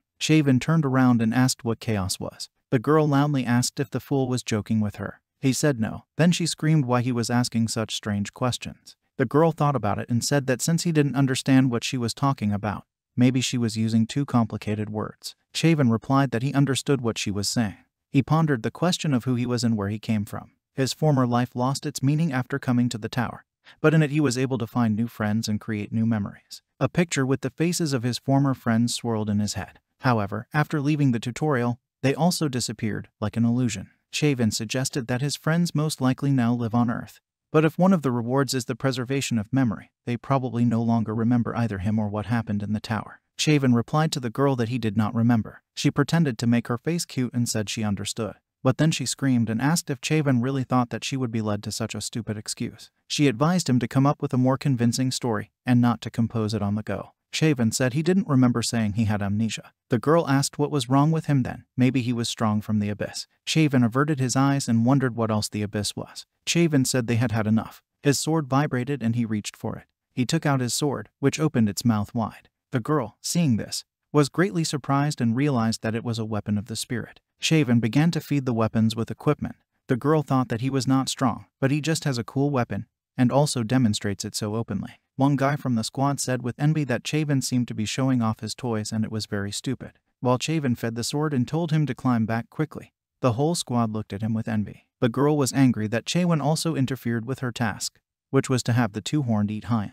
She had an idea. She said she wouldn't bother him with questions anymore, but she wanted to offer something. The girl introduced herself by the name of Mino and after telling about the chaos, walked a little through her companions. These guys are the ruthless people of their Red Fox clan, including Hyan. Chewin realized that in short, Mino wanted him to kill them. Mino said that he would soon understand himself, because they would come for him, and she also told Chavin to stop staring at them. Hyan looked at the dark starry sky and said that it was already dark and they had better set up camp, because it was too dangerous to walk at night, because you could come across a horned one. Chavin sat on a tree and surveyed the area while the rest of the squad sat by the fire and was about to go to bed. Later, Chavin settled down under a tree and reflected that, judging by the map, there is a village nearby. Those golden particles appeared in the air again. Chavin grabbed one of them and squeezed it in his hand. He has moved to the second level of awakening, awareness. The guy approached Hyan and asked why Chewin had so little spiritual power. Hyan was surprised and replied that he knew it. They came to the conclusion that the Chewin defeated the Two Horn only thanks to a strong weapon, but the weapon of the spirit can only be obtained in the abyss. That is, in the branches of the Tree of Illusions. Chavin guessed that they were coming up with a plan. He was wondering how they would react when they found out that he really got this weapon from the root. Although the Tower Demon said that this weapon was mediocre, but in this world it was apparently valued very highly. Chavin came to the conclusion that this is not a great land. Then he heard a lot of footsteps moving towards him. Chavin realized that they were coming. Mino leaned out of the bushes and said, What's the matter with Chavin? They're coming. She picked him up by the collar and said that he had a gun, so he had to kill them all and that was it. Chavin replied that no, because he had given his weapon to some sentry. Mino screamed, How could he give up his weapon just like that? Hyan called Chewin and laughing, said that his weapon would serve him well, although the Red Fox clan doesn't care if you have a weapon or not. The clan members who came were surprised that Hyan called them all to deal with the two, but decided to deal with them quickly in return. Mino screamed angrily, Have the fools not seen blood for a long time? Chavin smiled. He was glad that he would finally see her real ability. Hyan ordered the clan to attack, and the thugs rushed to the attack. Mino expertly launched two blades that hit the guys in the heads, two immediately fell to the ground. She knocked out the third one with a kick to the jaw, then grabbed another blade and launched the blade at another guy. Mino stopped and saw the guy fall to the ground with a blade in his forehead. Smiling, she apologized for throwing too hard. Mino said that she was just a little angry. At this time, flying blades appeared around her. She smiled and said that now they would learn something really terrible. Chapter 11 Hyan angrily said that he suspected when she accidentally pointed monsters at them. Now he had no doubt that she was a witch of destruction. Mino stared back confidently, preparing to attack. Hyan menacingly asked who needed the services of an assassin from the dark forest. Mino smiled and replied that it didn't matter, because the Red Fox clan had killed many adapters with their own hands, so there were a lot of people in the chaos who wanted them dead. Having finished, she launched the flying blades into the attack. Hyan laughed and said that he would never believe that the Dark Forest had agreed to stand up for some weaklings. He cut through the Mino blades that were flying towards him. Taking the sword that belonged to Chavin, he smiled angrily and said that it was definitely a personal request and today she, the Witch of Destruction, would have to die. Mino sternly asked if Hyan really hopes to fight her by having a spirit weapon. Hyan laughed nastily and told her not to worry because he came prepared. Hyan began to consider the members of the Red Fox clan and came to the conclusion that they are at least at stage 1 of adaptation. The clan members were just everywhere. She quickly counted them and realized that there were as many as 40 of them. She said she knew X would be bigger. Hyan asked if the witch really thought that he would go without a safety net to the witch and the guy who easily killed the two horn. Hyan looked at Chewin and said that if he knew that he would give him his weapon so easily, then he wouldn't even have to call the master. There was a wild-looking man sitting on a tree. He had long red hair, a sharp tongue that he licked his lips with and he had a weapon with long claws on his hands. Mino, seeing the master of the Red Fox clan, was surprised to tell the Black Fox that she did not expect to see him, did he really have so much free time. The master jumped down from the tree and found himself in front of the Witch of Destruction. Their master smiled with all his teeth, which, by the way, were very long and sharp. He told the Witch of Destruction that she could consider it an honor. The Black Fox Clanter was the master of the Red Fox and was in the third stage of adaptation. The Black Fox said that half of their clan had gathered to kill her alone. The clan members looked at Mino with wild eyes. The witch said that it was indeed an honor, but offered to wait a little longer since he was free. In fact, she doubted that she could beat him in a duel because he was at the third level of adaptation. The Witch of Destruction called out to Chavin, calling him Mr. Memory Loss, and apologized. She didn't want to say it, but she couldn't protect him. She threw him a rock and told him to take it and run. Chavin thought it was a nightmare stone. He asked what it was. Mino explained that it was a displacement stone and with its help you could find yourself in the nearest citadel. She added that she had only one such stone, so he can leave. Chavin looked at the stone. This stone could not bring him back to the past, but it can save someone in the present. He gripped it tightly in his hand. He remembered Yongwen and wondered what would have happened if this stone had been in their hands then. He was interested in the question of what would happen to Yunwen then and now. Chavin asked if the witch had the opportunity to return to the past, if she had returned. The witch got a little angry and said why he needed to ask such a question right now. But she still replied that, of course, she wouldn't come back. The witch explained that she did not have the easiest life, so if she dies, it will be only today and she will never go back to the past. Shaven approached the Witch of Destruction and lightly took her by the shoulder. He went ahead of her, took out his sword and said that she would not die today. Mino wanted to ask something, but she didn't have time. Shaven abruptly ran forward, from which the ground under him crumpled and scattered in different directions. Chavin ran and easily chopped down the members of the Red Fox clan. The Black Fox hysterically shouted the name of the skill 14 flashes of the King of Fire. The whole clan ran into the attack with wild smiles, all the while shouting the name of the skill. Chavin said he was using the Flash of Oblivion. He accelerated at times and like lightning swept through the ranks of the clan, simultaneously cutting everyone right and left. Chavin drove his blade into the black fox at full speed, but he managed to substitute his gloves, which eventually cracked under the influence of Chavin's incredible strength. The gloves with which the black fox was covering his chest flew apart and Chavin drove his sword into his solar plexus. The Red Fox clan master's eyes widened and he screamed in pain. The black fox's body thudded to the ground. Seeing what had been done to their master, Hem became hysterical, fear filled his body. Chaewin walked up to him and stretched out his hand to take back his spirit sword. Shaking with unimaginable fear, the kneeling Hyan handed the sword to the owner. Seeing that Chaewin, who had just slaughtered half of the clan and easily defeated their master, regained the Sword of Spirits, the remaining thugs began to run away. Chavin gripped his sword tightly in his hands and used a small lunge. A stream of blue energy broke out and flew towards the fleeing members of the Red Fox clan, chopping them. The eyes of the Witch of Destruction opened wide. She opened her mouth and could not say anything. She did not understand how a fool could do such a thing with an ordinary lunge. When Chavin agreed to give them the whole corpse, and even with horns, she thought that he was just a fool, completely careless, since he was so recklessly climbing into trouble. The witch realized that she was wrong, because he was just insanely strong. Chavin was standing with his back to her, and in front of him, after his small lunge, a rather deep ravine formed, the ground of which was blazing with fire. Mino called out to him. Chaewin calmly turned his head. Mino stood with her eyes wide open. Being in the deepest shock, she asked who Chaewin was. Chaewin smiled and said, did she forget who he was? It claimed she knew who he was. Mino stared back blankly. Chaewin, wiping his sword, pretended to laugh and said that she had really lost her memory, because he thought that only he had such a thing. After hearing this, Mino asked what kind of pettiness it was. She didn't understand if she was really offended by what she said. The witch stretched out her hand towards Chaewin and asked him to give her the stone of return. Chaewin replied that he had lost it. Mino screamed that Chaewin had no idea how expensive he was, so he just told her to look for him if she wanted to. They built a new fire. Chaewin sat and watched the starry sky. He could not understand why it was so quiet here. While Chaewin was feeding his sword, Mino was hysterically rummaging through the Dimensions backpack, accusing him of losing such an expensive thing because of him. Chaewin repeated to her that she knew everything. Mino asked what she knew about. Chaewin explained that about him. He smiled and said he was human. Incredulous, Mino asked if he was joking. Chaewin asked if she was human. Mino agreed. Clenching his fist tightly, Chaewin replied that it was enough. Looking at Chaewin, Mino couldn't figure out what was wrong with his face and she was wondering if he really thinks that being human is enough.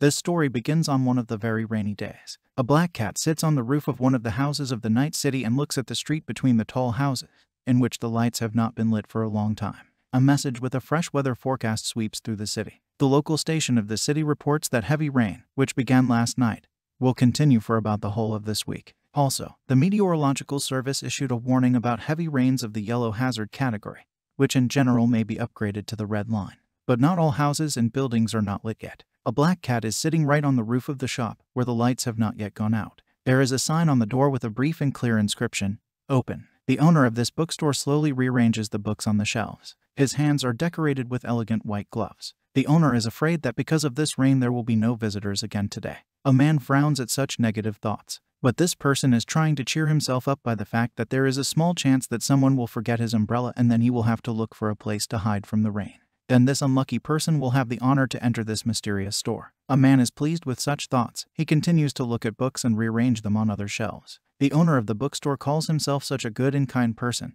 and he hopes that this little act of his romance will bring him income. Although not, let it be better that this romantic act will bring the man more clients. He would like to talk to the visitors of the bookstore. For an elegant man, of course, money is not important, but customers are more important. It would also be very cool if visitors were impressed by the kindness and enthusiasm of the owner and under this impression people would take and buy a couple of books from the topics that are available in this store. At this time, the night sky is decorated with a beautiful bright blue game that glows with a bright light. Terrible things happen under the moon. A lady with a sword is fighting with unknown people. She hits a huge bald man in a robe with a sword, right on the right hand. It was a precise and powerful blow that mercilessly chopped off this man's arm. And the girl moves on. Then two more opponents run after her, they are extremely negative. Then the girl uses a dagger and with a quick movement of her hand and strikes the masked guy with this dagger, which suddenly appeared in her hand. A sharp dagger strikes the enemy with a direct hit to the head. The second man is shocked by this turn of events. While he is distracted from what is happening, his opponent girl is standing behind him. She radiates a negative and hostile aura.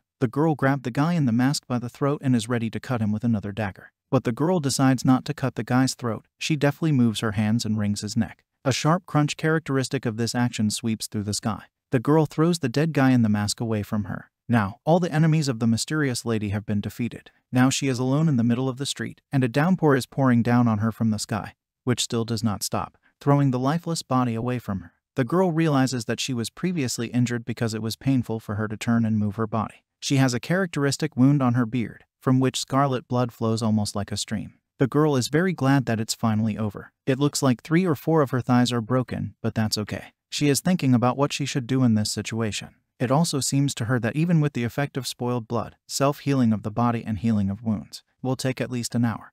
But it will be dangerous for the girl to wait this time on the street. It will really be dangerous. She urgently needs to find at least some shelter. A girl needs time, which is already short. She slowly, holding on to her wound, goes to seek shelter and her defeated enemies remain behind her, they will never get up again, now they are doomed to eternal rest. The faces of these four men express complete fear and horror. He froze in these expressions. Meanwhile, the girl is carefully exploring the area. She has not yet given up in search of shelter for herself. Suddenly, among the closed and dark buildings, she notices a light in the windows, and on the building itself he sees a sign open. The girl is surprised. Is this a bookstore? It's very strange. Why is he the only one of all the other stores open in this weather? Is it just a coincidence or is it a trap? You need to take this into account and be attentive to the end. The lady is slowly approaching this mysterious bookstore. She still doubts whether she should go there. Suddenly, the situation turns out to be more deplorable for her than it is now if she goes there. But then she realizes that she has no choice. In any case, she needs to hide somewhere as soon as possible. The girl tells herself to be brave and enter this bookstore. Finally, she opens the front door of the store. He sees a bell above the door, so now the owner of the store knows that someone has come to him, apparently another person who needs help in such rainy weather. The dark-haired girl begins to move deeper into the bookstore. She slowly but surely approaches the counter, where the owner of the store himself is sitting and reading a book. Seeing the girl, he was very happy and immediately distracted from reading. He closes the book and immediately greets the girl in his store. Here the man abruptly changes his face. He notices a lot of suspicious things only in the appearance of the lady. He says out loud that, apparently, he did not wait for customers for so long for nothing, because such a beautiful guest came to him. Wherever you look, this mysterious girl has a lot of stories. Now she's all wet, water is dripping from her, and she looks like a battered witch. The store owner will have to use his sales skill. Although, he abruptly changes his goal, because he would rather use the skill of talkativeness. Then the man offers the mysterious guest to take and use hot towels. If the lady wants to warm up, then she can safely take them. The lady does not like the words of the owner of the bookstore that he has been waiting for visitors for so long. It is also very suspicious that at first glance there is everything in this place that she might need right now. And it's all in a very ordinary bookstore, apparently. This is not just an accident. It is quite possible that this person knows something that he should not know. The girl takes an ordinary towel and begins to wipe the water from her face with it. She thanks the owner of the store for his help, but she needs to warm up. This is enough. At this point, the lady assumes what kind of faction this person may be. From where? From the secret tower. Or maybe from the faction of the Society of Truth. Or is it even worse and this man was present at the Pueblo's party? So many questions, so few answers yet the girl has. The lady can't know for sure, it's all at the level of her guesses. But in any case, this guy is not just a bookstore owner. He clearly has his own secrets. Then she decides to ask why the bookstore owner was waiting for her. Why did he say that? Then the man stretches out his hand towards the girl and says that yes, it's amazing, it's amazing how fate can sometimes bring two strangers together at first glance. The mysterious man replies that it seems that the girl is in an extremely difficult situation, so she needs help. At this moment, the man uses psychological suggestion, his first technique. It lies in the fact that words about problems do not carry any meaning by themselves. This is an ordinary psychological suggestion. The lady is in shock, as this gentleman said exactly. She has no choice but to respond positively to this, because the mysterious man is absolutely right. The reception continues its action. After all, as soon as a visitor relaxes and starts complaining about his problems, Mr. Lin immediately begins pouring honey into his visitor's ears in order to get closer faster. The lady says that she had one unpleasant problem. She thinks that right now she cannot judge for sure whether this man is her friend or vice versa, so she agrees with his words in order to study his personality and his goals in more detail. Mr. Lin says he regrets it, but if he understands correctly. But most likely, the girl's problems are problems in a relationship. Is he right? While saying this, Mr. Lin pours tea into a mug. And here is the second reception of the insidious Mr. Lin. And these are vague speeches. This is a very versatile technique, much respected charlatan and magician Lin. Its essence is that the meaning of a man's words should be so unclear as to subsequently leave room for maneuver, both for himself and for his interlocutor. The girl is stunned by this assumption of the man. What does he mean by that? Is that a plan somehow? Or what? Either he is trying to intimidate the lady, or he has known about everything for a long time. Then Mr. Lin puts a chair to the table and invites the girls to sit down and continue their conversation about all this. Unless, of course, the girl is not against such an offer. The lady is even more wary. Did outsiders really become aware of the uprising of the White Wolves in such a short time? This can't be happening. After all, it can't be that Mr. Lin guessed all this so simply and by chance. Unless, of course, he was in control of the situation from the very beginning. Then everything goes exactly according to Mr. Lin's plan. She sits down at the table and holds out the tea that was poured for her earlier. She began to tell me that she had really been betrayed. One guy is to blame for everything that happened to her. At this time, Mr. Lin learns even more about the mysterious girl. He was able to see it in her, with the help of the egg of the magic mirror. This is the egg of a magical creature capable of seducing the human mind.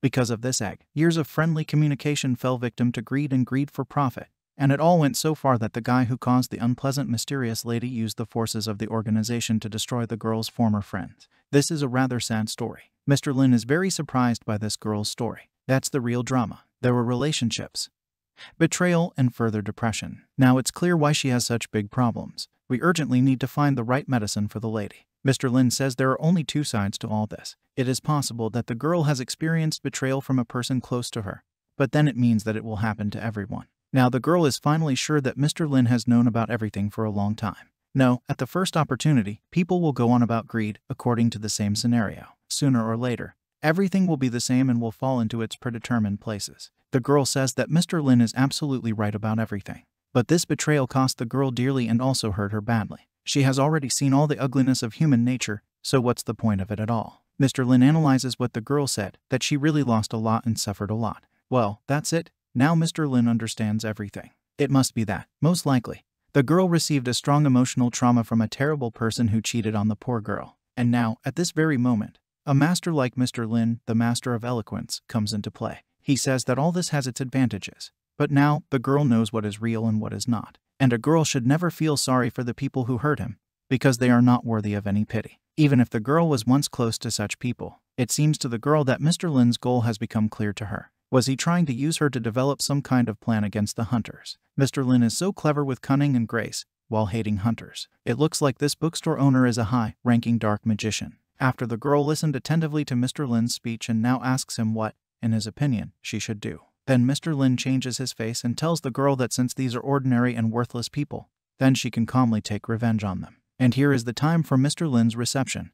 And these are purposeful tips. The man says that the girl should not be condescending with them in any case. The essence of the reception is to keep the visitor. And in order to keep the visitor, you need to make him a competent offer, taking into account all life circumstances, which is very different for the better from other offers. What? Should a girl take a turn away from these people? She is not mentally ready for this in any way. It seems that Mr. Lin is not going according to plan at all. But it doesn't matter, because everything is ready. It's time to really get down to business. Here Mr. Lin smiles slyly and says that he thinks that the girl needs a certain book. Here he abruptly puts a book on the table, which, in the opinion of the gentleman, is suitable for the situation in which his guest today found herself. It's good that Mr. Lin was reading the confession just before all this. This difficult book is perfect for such a confused girl. What's it? Blood and the Beast. The girl has never even heard of such a title, she sees this book for the first time. But why did Mr. Lin decide to give it to the girl right now? What's the catch? Then the girl decides to open this book. But this is not an easy book at all, as it seemed at first glance. Inside it, on almost all the pages of the book,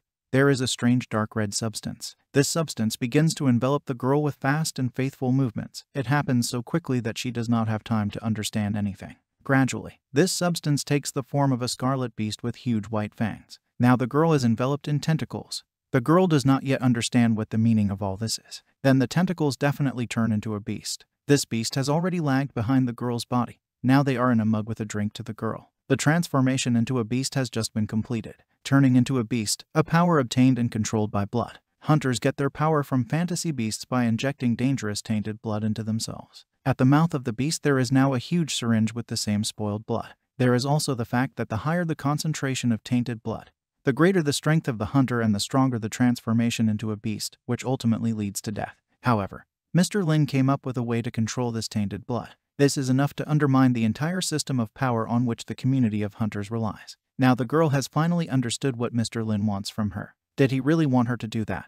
The gentleman says yes, that's what he needs. But all this is not for the sake of repentance, but for the girl to be honest with herself. This man probably knows that even if a broken woman looks strong and resilient, in fact she is still sad inside herself. And so, just a couple of words of comfort and a recommendation of a good book, as this girl is already on the verge of tears. Now it's time for Mr. Lin to use the original text from the book itself to instill self-confidence in this girl. He begins to make a speech, approaching the girl from behind. The book says that the trumpets will sound, marking the beginning of the day of judgment, and the hero will appear before the Almighty Judge with this book in his hands, and he will declare what he does, what he thinks, who he is, with the same frankness with which the hero talks about good and evil. Every person has the basest animal desires. Is all this true? Did she really write in Confessions? Now, the girl should not worry at all, because calming people is Mr. Lin's specialty. She just needs to accept it and trust Mr. Lin, and after that, the girl will have a new life. And here is the fourth reception of the mysterious Mr. Lin. This is the final conclusion. It turns out that after the visitor has poured out his emotions to Mr. Lin,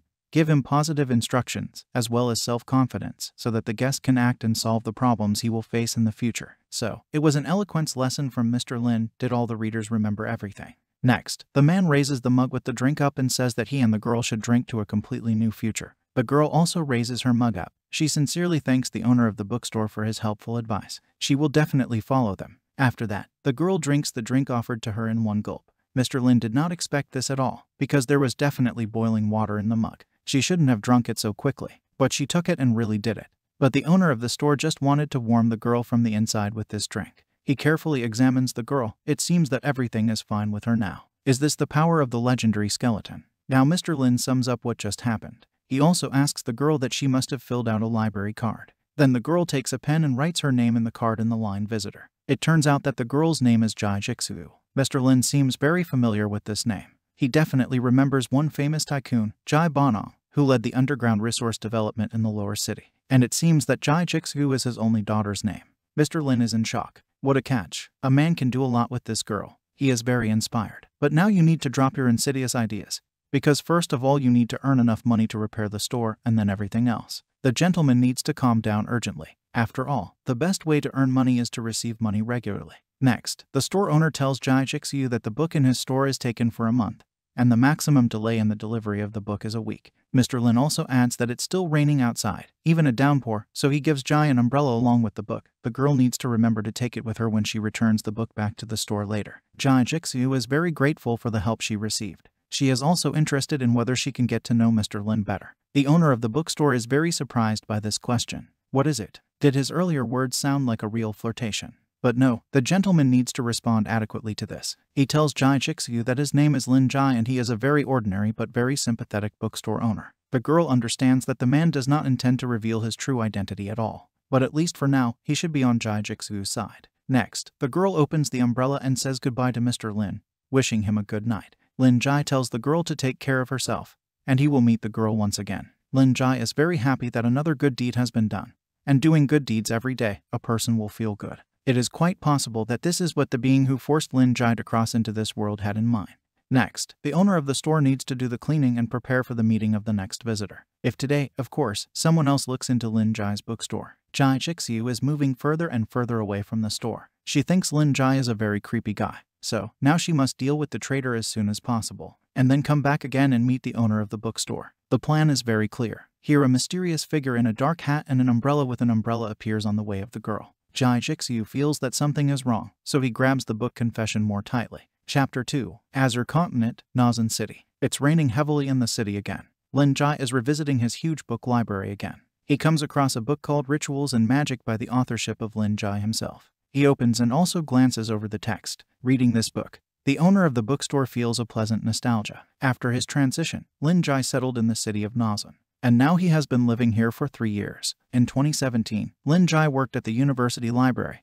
Then he was a doctor of folklore studies. A student is approached by a library employee. She says it's time to close, then why isn't Lin Jai going anywhere? He replies that he wants to read some more books. He tells the girl to leave, and then he himself will close the door to the library. The girl understood Lin Jai. She is saying goodbye to the teacher and will be glad to see him tomorrow. She's already leaving. Another girl meets a girl from the library. She says it's late enough, then why isn't teacher Lin leaving yet? Another girl apologizes for being late at the library. She is sorry that she made her friend wait. She also says that it's because teacher Lin loves books very much. That's why he decided to stay a little longer. The girl once heard that he even seems to collect books and spends his entire salary on buying them. The girlfriend of this girl does not believe in what she said. It seems to her that the girl is simply exaggerating, because this cannot be. At this moment, the teacher finally finished reading the last book he took. It's already deep night outside. A bright blue moon is shining in the sky. There are no clouds in the sky. Lin Jai, as promised earlier, closes the library door. Now, all the preparations for the ritual are completed. On the floor, right in front of Lin Jai, there is a huge bright yellow pentagram. She is very mobile, spinning from side to side. Inside it there are many different mysterious symbols, words and signs. Lin Jai is pleased that the preparation of the ritual site has finally been completely completed. A man knows that wishes definitely don't come true by magic. But as long as Lin Jai has a single glimmer of hope, he is willing to pay any price for it. He puts his hand on the pentagram and asks her to give him all the books of this world. But the man's request for some reason does not work. Lin Jai is very upset about the failure. But, on the other hand, he knew that this would happen, that nothing would work out. After all, some magic circle will not fulfill his wish. But suddenly, some scary creature from another world appears behind the guy's back. This creature has no face. It has only a huge mouth, from which snow-white teeth are visible. At first, Lin Jai does not realize that he is not alone in the building. But when the monster approaches the guy from behind, when he feels someone breathing from behind, but quickly turns around, he suddenly feels uncomfortable. He turns around abruptly. But strangely enough, the monster is no longer there. Instead of no, there is a huge door behind Lin Jai, which depicts a huge glowing bright eye. It's like he's watching a guy from another world. This door looks very unusual. It depicts bright red patterns that are located along the entire length of the door. This door took all of Lin Jai's attention. After all, it was at this moment that the man realized that if he did not open this mysterious door now, then his dream of books would definitely come true. But the price of this adventure is never to return to Earth again. This is a very high price, but Lin Jai values his dream too much, so he is willing to pay such a seemingly high price. But a satisfied grin appears on his face. Lin Jai has almost opened this magic door. But this moment is already in the past. Lin Jai walked through that door and ended up in Nazan. Lin Jai didn't know that so much time had passed since that moment. Mr. Lin didn't even have time to notice it. This is all because Lin Jai's current life is no different from his previous life. It seems to a man that the payment he once paid is quite decent. Shouldn't such a ritual be paid for? The answer is obvious. In this world, there is no system that could issue tasks. And also some cranks do not come to Lin Jai, so the days of staying in Nazan flow so calmly and so unhurriedly. Isn't that great? Lin Jai is really happy about this. He is positively glowing with happiness. He likes everything in his current reality. He does not regret at all that he exchanged this world for Earth. After all, now, Lin Jai can update the bookshelves every day, and also read so many books that are still unread. This is basically what Lin Jai has been dreaming about all his life. He just needs to communicate with visitors. It turns out that life's happiness lies in such little things. Lin Jai made himself some tea again, but now he was thinking about something again. He worries that his bookstore has not had new visitors for a long time and it seems that Lin Jai's communication skills have not deteriorated yet. This is very cool. But one thing pleases that the girl who previously came to Lin Jai will certainly become happier today. Meanwhile, Jai Jixiu is standing in the middle of the street without moving. A man in a raincoat and hat is slowly but surely approaching a very frightened girl. Oddly enough, this man also has a book in his hand. I wonder where she came from. At this moment, the man continues to move towards Jai Jixiu. Here, he passes by the girl. At that moment, he notices the girl's book confession from the girl's hand. But poor Jai Jixiu can't move, her hand is frozen. Then the man in the mask turns his gaze back to the girl who has become petrified with fear and fright. The stranger in the hat praises the confession that the girl chose, as if he approves of her choice of the book. He says Jai Jixiu is definitely lucky to have her. The girl feels trapped, as if a snake has encircled her and is curling on the girl's body, gradually depriving her of the opportunity to breathe deeply. Jai Jixiu even had sweat on her forehead. She really is completely terrified of this man and his heavy and oppressive aura. In his hands he carries an interesting book. This is emptiness and silence. The stranger walks on, and Jai Jixiu leans against the wall. She doesn't care about the rain anymore, so she dropped the umbrella from her hands, which should protect the girl from the rain.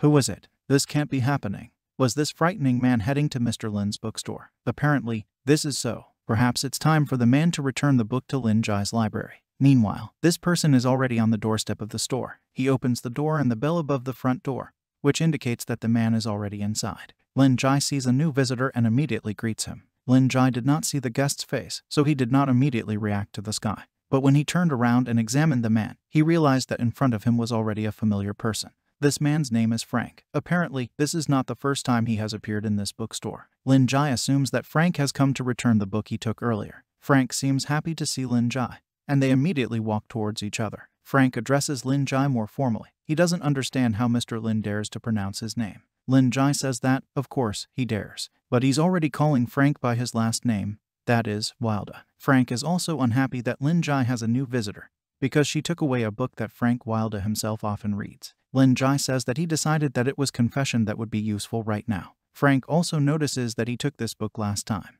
Then Lin Jai rather rudely says that, As he said earlier, it would be very difficult for an old man like Wilder to read the confession, but Frank did not believe the owner of the bookstore. Frank says that after reading it, he realized that it was too difficult to understand, and there was a whole world in it from birth to death. And based on his superficial knowledge, it will be difficult to imagine how great the person who managed to write such an amazing and wonderful book is. Lin Jai says that the author of this book is a dead giant. Then Frank says that since it was a giant, it's not surprising at all. At this time, Jai Jixiu overhears a conversation between two men. Now, the girl understands what kind of stranger appeared before her earlier. Of course, this man is Frank Wilder, the Black Faceless. This is a dark magician of the destructive level. Unbelievably, according to the rules established by the Society of Truth in 1788, all supernatural beings are divided into four levels, which is also called the APRN qualification. That is, the qualification of abnormal, frightening, destructive, indescribable. And here is black faceless Frank Wilder, destructive, a dark magician. His bright distinguishing feature is a mask on his face, and also dark green, almost turquoise eyes. For this strong magician, there is a reward that the secret tower will give to the one who catches Frank Wilder. Now his exact location is unknown. One day Frank got into a fight with one of the best fighters of the secret tower, and as a result of this powerful battle, an area of almost 10,000 kilometers was destroyed, and it was in that battle that Frank Wilder moved to his destructive level. There are only less than 10 supernatural beings of the destructive level in Nazine, and there are less than 100 of them in all of Azir. Jai Jixiu is in complete shock. Out of anger, she even destroys the wall next to the girl's hand. She doesn't understand at all how Lin Jai is chatting so sweetly and calmly with such a strong and terrifying supernatural being. She decides that she has nothing more to do here. She picks up an umbrella from the ground and decides to go home. Jai Jin feels like she has stumbled upon a very unusual person in the person of Lin Jai. Now the girl finally goes away from the bookstore. Further, it seems to Lin Jai that Mr. Wilder is in a very bad mood today. And if he needs his help, then let him not hesitate to ask for help. Lin Jai thinks that Frank Wilder is one of the few old visitors to his store who comes here just out of habit. Along the way, Lin Jai puts the book Frank brought to his place on one of the shelves. And of course, such a lonely old man just needs special attention and company. As far as Lin Jai knows, Frank Wilder has two children, and the old man has a bad relationship with both children. Lovers constantly leave him, and other magicians dislike Frank, in particular because of his appearance, so this old man is always lonely. He really is an ordinary lonely old man. This situation reminds Lin Jai of how they met Frank as much as two years ago. The meeting of the men really happened two years ago. Back then, Lin Jai already had his precious bookstore. On one of these rainy days, a new guest came to Lin Jai. He came in quietly, a mask on his face hiding the appearance of a man. Lin Jai's instinct told him that it seemed that this visitor would be very interesting, judging by his clothes. Frank Wilder was not deprived of money, but for some reason he deliberately hides his face. It seems that he is a loner. At first glance, Lin Jai seems to be a man of science. Also, apparently, he is a research scientist. Yes, this is a good chance to talk to the owner of the store with such a colorful person. If you are careful, you can get yourself such a mature enough client. A man with a mask on his face is interested in who is the owner of this bookstore. He also asks if it is possible to return old books that have been read for a long time. Frank Wilder has several old books that may well carry collector's value. Lin Jai says with a smile on his face that yes, the store has such a function. Books, of course, can be handed over, but you need to wait a little. Lin Jai offers Wilder a drink. He only asks for ordinary black tea and nothing more. Lin Jai offers tea to get a little closer to an interesting guest. Frank thanks for the tea, but the man's rather old face is very scary, and therefore he does not want to cause the store owner unnecessary trouble. Lin Jai says he doesn't see this as a problem at all. Frank Wilder is still primarily a guest of the store. How can Mr. Lin be afraid of him? Moreover, only very stupid people look only at the appearance of a person and do not even try to look into the human soul. Frank is pleased with these words of the store owner. He says Lin Jai is pretty smart. Then it's better to be polite on his part and remove the mask from his face. And then thank Lin Jai for this tea. The owner of the store says that Frank Wilder's face is more strange than scary. Frank takes the tea and starts tasting it. Then it seems to Lin Jai that Frank's mask hides old battle scars. But then the hero tries to forget about it and drive these thoughts away. He definitely shouldn't pry into his guest's personal life. But judging by the books that Frank Wilder brought, he studies many languages and is a highly qualified linguist. Then it's worth trying to start a conversation with a guest from here. Frank says this tea is really good. He thanks Lin Jai for him. He says it's not worth the thanks. Mr. Lin also says that the books his guest brought are very interesting. They contain studies of very rare and even already dead languages. There is magic between the words and lines of the book. It's really amazing. Frank Wilder is in complete shock. I am shocked at how the shop owner could feel the magical power of these manuscripts at all. How is this possible? After all, Frank had erased all traces before that. And yet, even a supernatural being of the destructive level would not be able to sense anything at all. And all the time Lin Jai is so calm and polite. But what kind of person is this? He is clearly very unusual. Mr. Lin is so carefree. But it's possible that he doesn't feel the aura, but he's definitely an unusual person. Then Frank Wilder says he does a little language research, and if Mr. Lin has any research in this area, but he could give it to him to read, it would be quite an interesting experience. Lin Jai says that he is not an expert in linguistics at all, but in turn he is engaged in research in related fields of science. It seems that Lin Jai has a couple of suitable books. It seems to the hero that, of course, professional scientists get used to physical loneliness, but even they can't stand the loneliness of the soul. It may be a good idea to point out a new direction in this matter. Therefore, Lin Jai wanted to recommend a book to Frank Wilder. The trick is that this book uses one of the most complex dialects in existence, which are referred to as the language of the devil. And if Frank is not a real linguist, then he will never understand the meaning of the text written in the book. From this book, Frank Wilder slips a mug of tea out of his hands. Frank is very excited about this book. He is very excited about it. So there is a devil's tongue in this book. Interesting. Lin Jai is glad that he coped with his task and was able to please his new client. Frank says that this is a very, very rare book. He is very interested in where it came from the owner of this bookstore. Lin Jai, much to my regret, cannot tell the whole truth. They are not in China now. Therefore, the hero can only say one thing. This language is one of the glorious, magnificent, and ancient civilization.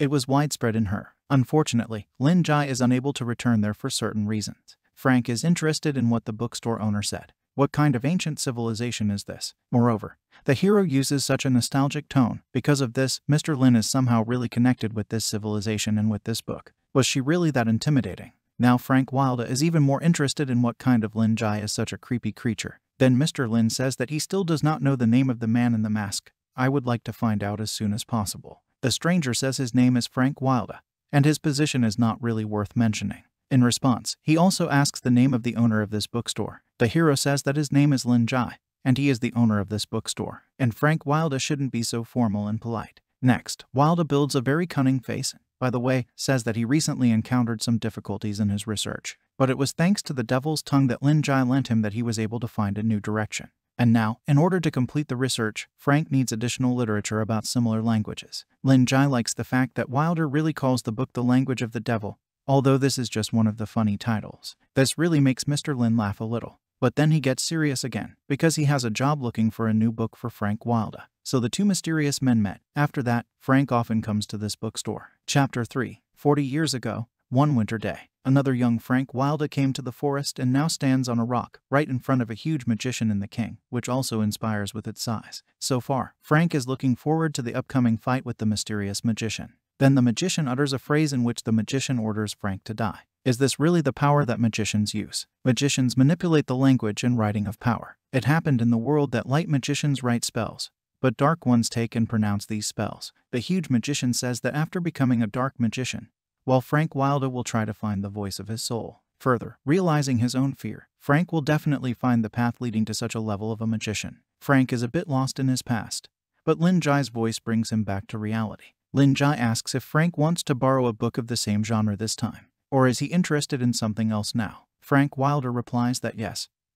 He needs a book in the genre that he usually takes here. That book was too complicated, and besides, it seems that there is a dialect of another language in the book, which is deeply connected with the cultural customs of people. Frank wants to better understand the hidden meaning of what is written there. Lin Jai understood his client's request. He needs a second to think about it a little. At this moment, Frank waits patiently, slowly sipping tea. He thinks that Mr. Lin is as unselfish and generous with him as ever. It turns out that two years ago he had a difficult battle with an unpleasant man for him, Joseph. As a result of this battle, Frank Wilder was seriously injured. And so, when Frank lost his way, he came to Lin Jai and he instructed Frank on the right path. Also, Mr. Lin is able to pick up just the rarest books and completely hide his aura from Frank, and he is a magician of the destructive level. It's unthinkable. Meanwhile, Lin Jai assumes that this man sitting in front of him must be a hermit scholar whose strength goes far beyond the divine level. And now, two years later, Frank Wilder finally managed to start researching forbidden spells based on the remaining knowledge from that very book. And Lin Jai did all this thanks to this omniscient and well-read scientist. This time, Frank Wilder is simply obliged to express his gratitude properly. Lin Jai reviews the books on the shelves, and then his hand stops at a book called Rituals and Magic, authored by Lin Jai himself. Lin Jai apologizes for keeping his client waiting.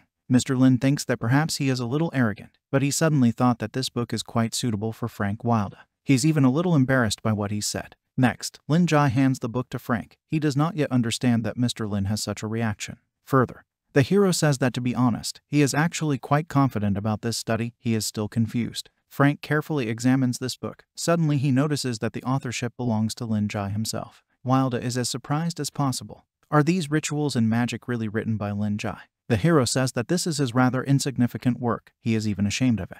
Frank Wilder could have expected absolutely anything, but not this. Where did Mr. Lin get such knowledge about the world and its components? The cult of the truth of knowledge, then the cult of the moon and finally the cult of the high fog wall. These are the three main beliefs that Frank knows. But such a faith as the corpse eaters, Wilder had never heard of such a thing. Also, rituals and magic has such an evil aura, the writer of this book is clearly not a kind person. Is Lin Jai really going to create his own faith? Then Frank Wilder asks Lin Jai if rituals are his area of research. Mr. Lin says that it is, but this is just part of his research. These studies that completely changed the fate of the hero. He wanted to continue with a more detailed account of this, but decides that it's better not to do it, at least not today. He immediately tells Frank to forget about his words. He shouldn't think about it. Frank Wilder is surprised by this formulation of Lin Jai. What is it? Did this really happen a long time ago? But what exactly? Is this the story that changed the fate of the hero? So that's how it is. Now Frank understands more well what is the matter here. According to Frank Wilder, Lin Jai is a scientist who researches forbidden topics and has such great power. This is a person who is doomed to be excluded from the main community and it is because of this that Mr. Lin hides himself and his abilities from the rest of the world. Frank further notes that rituals and magic looks like this book is bound by hand. Why is this so? Lin Jai says that it is because of some unfortunate circumstances. He had no time to publish the book, so he had to save only the version that was made by Lin Jai himself manually. Deep down, Lin Jai is very sorry that he did not have time to release the book. If only the hero hadn't been transported to this world, but then he would have definitely managed to do it. After all, it was thanks to this book that Lin Jai received the degree of associate professor. Lin Jai even clenches his hand into a fist. Frank also notices this. But then Mr. Lin says that since he and Frank have common interests, he will gladly give the man this book. But of course, if Frank Wilder does not trust him for some reason, but Lin Jai can simply recommend some other book. Frank is very surprised by this action. Does Lin Jai really want to take and lend him this priceless original, even though Rituals and Magic is an experimental work? And besides, this book was never published. Frank Wilder sincerely thanks Lin Jai for being so generous with him. And it is also a great honor for Frank that he had the opportunity to read Lin Jai's books. But Frank also doesn't understand what Lin Jai really wants from him. He says that this work is precious and there is only one copy, so there is no doubt that it is a very painstaking work. Frank Wilder is really worried about the fact that Lin Jai is ready to give such a very important thing into the hands of a nasty and suspicious old man. Frank Wilder decides that perhaps Mr. Lin wants to put some kind of experiment on him. Lin Jai thinks to himself about how kind Frank is. After all, at first he was interested in all this, but when he learned that this book was the only one of its kind, on the contrary, he was ashamed to borrow it. Apparently, he doubts something, but Lin Jai is seriously determined that he is ready to dispel any doubts of Frank. Lin Jai says there is no need to worry about anything. Mr. Lin sincerely believes that Frank is able to increase the value of the book Rituals and Magic, because the hero's research is valuable only when other people can notice it. And as for this book and its only copy, this book no longer has any meaning for Lin Jai. Since today's Lin Jai already owns a whole book collection, the rest is no longer important. He can make a copy of the book at any time. And all because the knowledge and thoughts in Lin Jai's head cannot be stolen. As you know, you can only steal fame and wealth. That fame and fortune are not completely unimportant for Mr. Lin. Lin Jai hopes that Frank understands him. Frank Wilder seemed to understand right away. Lin Jai is a little unhappy that Frank has been agreeing to the book for so long. It would be better for him to take it. Now is the last chance to take this value for yourself. After all, Frank Wilder is a lonely old man. And besides, a scientist, he definitely needs this very fame and this very wealth to compensate for the emptiness in his soul. But unfortunately, such thinking can turn into painful fanaticism, and this is very harmful to health, so you need to give Frank Wilder the opportunity to be closer to the crowd and feel the care and kindness of the people around him again. Lin Jai hopes that Frank understands him, so many hints have already been made. Frank departs a little from his shocked state and says that he understands the hero, and he is also very grateful for such advice. Indeed, fame and fortune are not important. Did Lin Jai want to give Frank a warning not to divulge anything about this to other people? The scarred man has not fully understood this moment yet. Lin Jai feels the growing question and answers that he does not mind at all if Frank Wilder decides to recommend this book to someone else from his friends and acquaintances. Now Frank has no more questions, he understands everything. Therefore, the man promises to do everything possible. It seems to Frank that this is the price that Mr. Lin requires him to pay for using this book. The man really hopes that he will be able to distribute the work of Lin Jai. It is necessary not only not to expose the identity of the owner, but also not to distribute its contents. It seems that only Frank Wilder is able to fully study this book and then verbally convey its essence. Frank also needs to be careful and careful again. Next, Frank thanks Lin Jai for his long-term guidance. He wants to thank the hero with something. He really hopes that this gift will not upset Mr. Lin. Frank gives an unusual gargoyle to Lin Jai's bookstore as a thank you. It looks quite interesting and frightening. Lin Jai is very surprised by this gift. Frank says that this is not a very valuable thing, and it certainly will never pay off the value of rituals and magic in Mr. Lin's help. But Frank asks to accept it as a sign of his gratitude. This gargoyle is the work of Frank Wilder since his studies. His teacher highly appreciated it. She has sufficient magical resistance and also strong skin, extremely sharp claws and fangs, automatically recognizes the intention to kill, and also in terms of combat power. This gargoyle is not a bit inferior to elite warriors. Lin Jai really liked this gargoyle. He thinks that Frank is very shy since he said that this gargoyle is not so valuable. This work is so elegant, almost realistic. Even despite the cost, it is quite a valuable token of gratitude. It seems that a gargoyle can be used for many things. For example, to exorcise evil spirits, because the role of a gargoyle is close to a stone that can ward off evil. Since this is a token of Frank's appreciation, but Lin Jai will gladly accept this mundane award. The hero says that this is an extremely exquisite work of art that suits his taste perfectly. He can't wait to see what kind of gift Frank Wilder will bring him next time. Frank is very happy that Mr. Lin liked his gift. This is just one gargoyle of a frightening level. But the value of a book by such a high-ranking person as Mr. Lin is enough to create tens of millions of gargoyles. Frank is a little upset. Of course, it's good that Lin is still so good-natured and merciful, so deliberately expressed praise for the gargoyle, just so as not to offend the man. Then it's time for Frank Wilder to leave. He promises that by the next time he will definitely prepare a gift that Lin Jai will definitely be pleased with. This gift must be valuable enough to reach the divine level for sure. Lin Jai happily says goodbye to Frank. He will be looking forward to a new gift. He will also be glad to meet a man again. Then Frank Wilder leaves, and Lin Jai continues to examine the gargoyle presented to him. It is quite possible that Frank will give him a gargoyle again, so that he has both a male and a female, it will be really elegant. He is also interested in whether there are males or females among gargoyles at all. Lin Jai is not aware of this issue. In general, the gargoyle is good. A lot of energy is released from it. Restraining the force is just fine. So, Lin Jai is almost done for today. Maintaining a clear creation is really easier to attract good luck. Suddenly, the hero notices that some strange black substance is dripping onto the table from somewhere above. Lin Jai is shocked by this. Then he realizes that he is already familiar with this black liquid. They haven't seen each other for a long time. Is it really him? Chapter 4 Lin Jai is not happy to see this something in front of him. This is what is behind Lin Jai's transfer to another world. Three years later, he appeared again. Lin Jai says that since he suddenly appeared here, then it's time for the hero to pay his price. Let the black substance directly say what the hero will need to do. After all, this unknown being helped Lin Jai achieve what he wanted. He is still friendly. He must belong to the class of good gods. Shouldn't the fee for getting what you want be sky high? Then, the substance takes the form of an inscription on the table, which says that DZU has already awakened and started his search. Lin Jai didn't expect this. Was it really because he had allowed Frank to recommend his book? The substance takes on a new form this time. This time in the word yes. Now the hero understands what he needs to do. We need to get other people to recommend and spread rituals and magic whether it will be beneficial for the mysterious creature. The substance again says yes, without changing its form. Lin Jai is visibly happy about this. He says that then there are no more questions. Then Mr. Lin will do everything in his power. After these words, the black mysterious substance disappears. She abruptly disappears from Lin Jai's field of vision. He will think about what just happened for a long time. In the city of Nazan, it is still pouring heavy rain. An unknown man in a raincoat looks around the city from the balcony of a tall building. The man says out loud that it's drizzling outside. He also reports that Frank Wilder, a black faceless suspect in the Hunter's feud, was found on 23rd Street in Nazin. It turns out that this mysterious man has been following Frank all this time. Also, the man in the raincoat reports that Frank stayed in the bookstore down the street for about an hour, which is extremely suspicious. The stalker thinks that this Lin Jai bookstore may be a secret base for dark magicians. On the other side of the conversation machine is Jack, who is now in shock from what he has just heard. He says that this intelligence is very important. Jack says that he will definitely inform teacher Joseph as soon as Jack deals with this.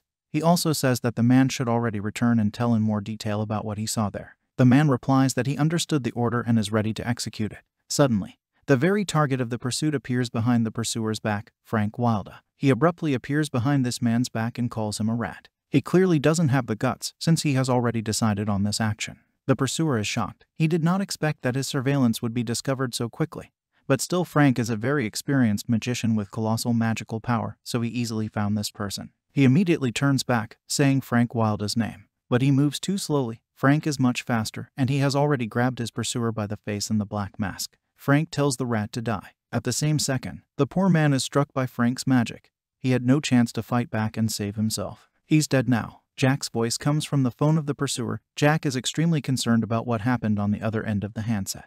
Did something terrible really happen? But now this person will not be able to answer. Frank Wilder puts his foot on this machine, and it immediately breaks to pieces. Frank does not regret what he has just done, even if it was cruel, but having dared to look into this man's house, that is, into Lin Jai's bookstore, then let him not even think about regretting death. After the incident, Frank disappears into the night, and in the city of Nazan, the rain continues to fall without abating for a minute. The door to the intelligence office of the secret tower, entrance to the office of the head of the department, a girl named Claude, worried and worried, knocks on the door of the office. He also enters and says that she has a report on an abnormal case for the Lord Knight. The Lord Knight allows Claude to enter. A girl with glasses says goodbye to someone in the hallway and enters the office. The Lord Knight is wondering what happened to the egg of the magic mirror. Did something happen again? Here, the head of the department does not hold back and decides to speak rather rudely about the hunters. He says that hunters are really a bunch of stupid people. Claude did not expect to hear this. Apparently, he came at a time when the head of the department was in a bad mood. And the Lord Knight continues his speech. If it weren't for the hunters, he would now be quietly enjoying his pension and not straining like this. He knocks with an iron hand on the table. This is a really strong blow and further says that sooner or later he will practice boxing on the tombstones of the mothers of hunters. There's a big crack in the table and Claude is about to come to his senses. She adjusts her glasses and asks the teacher to pay attention to the image she is about to show. The teacher tells Claude not to be afraid. He is also embarrassed by the fact that, it seems, Claude has not closed the door to the common corridor. Claude is a little awkward. A short silence is formed. The girl apologizes to the teacher and tells him that a new situation has formed this time. The Lord Knight clarifies, is this really a different situation? This is something new, finally. But what incident could be more important than the mess that the rabid dogs made? Claude agrees with this. But the spy who had previously tracked the hunter's movements was recently killed on 23rd Street. And according to the report that Claude brought, before he died, he found out the location of Frank Wilder. The teacher did not expect to hear something about a destructive magician. He immediately changes his face and asks again who exactly the pursuer saw. There is a joyful grin on the teacher's face. He has noticeably become excited. Claude repeats that their man was met by Frank Wilder, a black faceless magician, a magician of the destructive level, who disappeared two years ago after the Battle of the White Hills. At the moment, the secret tower posted a reward for Frank's capture. Claude is really scared by this. She didn't even think about the fact that Frank really survived. These two years, only the teacher was sure that Frank Wilder survived that battle. The Lord Knight says that of course it is. He calls Frank a pathetic bedbug and also compliments his speech with the fact that no one understands his habits better than him. And finally Wilder crawled out of the sewer. The Lord Knight could not have imagined that Frank could be in Nazine. That is, right under the nose of the secret tower. It seems that his brain, wrinkled like a nut, finally squeezed out some water. Only one thing is unclear. What was Frank Wilder doing on this very 23rd Street? What attracted his attention there? Claude replies that the information received by the secret tower is quite limited, since they suspect that the spy was killed by Wilder himself. At the moment, only the fact that he entered a very ordinary bookstore is investigated, and it is also known that he stayed. The Lord Knight is displeased. How can a dark magician who gains power by relying on language buy books? It's just impossible. Claude is shocked by such a violent reaction. The Lord Knight concludes that there is definitely something wrong with this bookstore. There is definitely some mystery in it. Have the people of the secret tower checked the whole background of this bookstore? Claude says that, of course, they have already checked all the available information and according to data received. This bookstore is listed as an Ash Chamber of Commerce. It has been operating for three years, also has a good reputation and a very small number of visitors. The only oddity of this bookstore is that the owner is a foreigner. Initially, there were suspicions that this could well be a secret base of dark magicians, but now they are not very sure about it. The Lord Knight asks, what exactly are they not sure about? Claude says they're not sure about the entire Ash Chamber of Commerce. The Ash Chamber of Commerce is the property of Druid priests. They are light magicians who believe in nature. They are unlikely to be at one with some dark magician. Claude says that if they draw the wrong conclusions and rush, they may well damage the reputation of the Ash Chamber of Commerce. So, embittered druids can start protesting against the secret tower. The teacher is extremely dissatisfied with this state of affairs. This time, out of anger, he hits the wall in the office. He calls the druids a bunch of problematic vegetarians and continues to radiate negative energy. Claude thinks to himself that the word vegetarians is not correct, because druids are not vegetarians. Then the teacher turns sharply to Claude. He is sure that the girl has just thought of something indecent. The girl says it's not like that at all. She has no such thoughts. Then the Lord Knight approaches Claude with a quick step and looks at poor Claude with an angry, fiery look.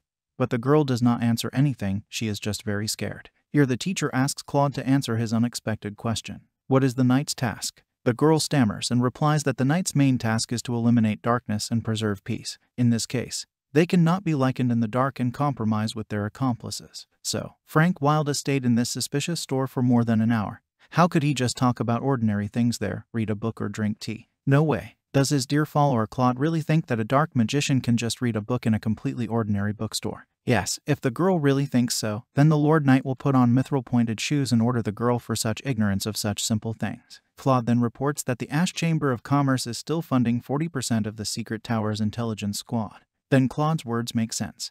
The teacher no longer scolds Claude, there was a very awkward silence between them. Then the Lord Knight tells the girl to forget about it and not worry. The man with the iron hand is going to personally go to this mysterious 23rd Street. He needs to see with his own eyes what, after all, is going on with this bookstore. Claude obediently agrees with this teacher. Next, he goes out into the corridor, where the Lord Knight greets the other knights of the tower. The glorious Lord Knight is asked if he has eaten. Then other knights gradually greet him. All the people in the secret tower admire their teacher. They all say that the Lord Knight is working very hard. Meanwhile, the Lord Knight descends in a fast elevator from the lowest floor of the secret tower. At the same time, he studies Lin Jai's dossier.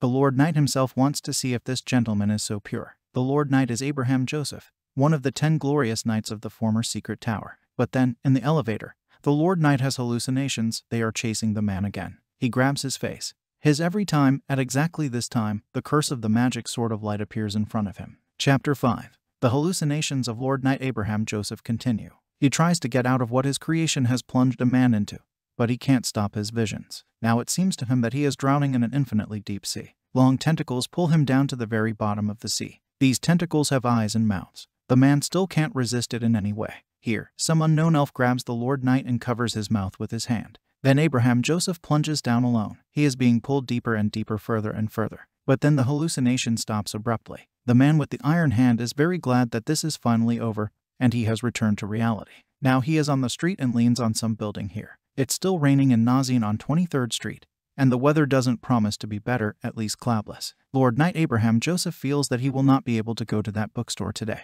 It's really some kind of curse. The Sword of Light is the madness of its first owner and also his imminent demise enclosed a curse in the sword, driving subsequent owners crazy.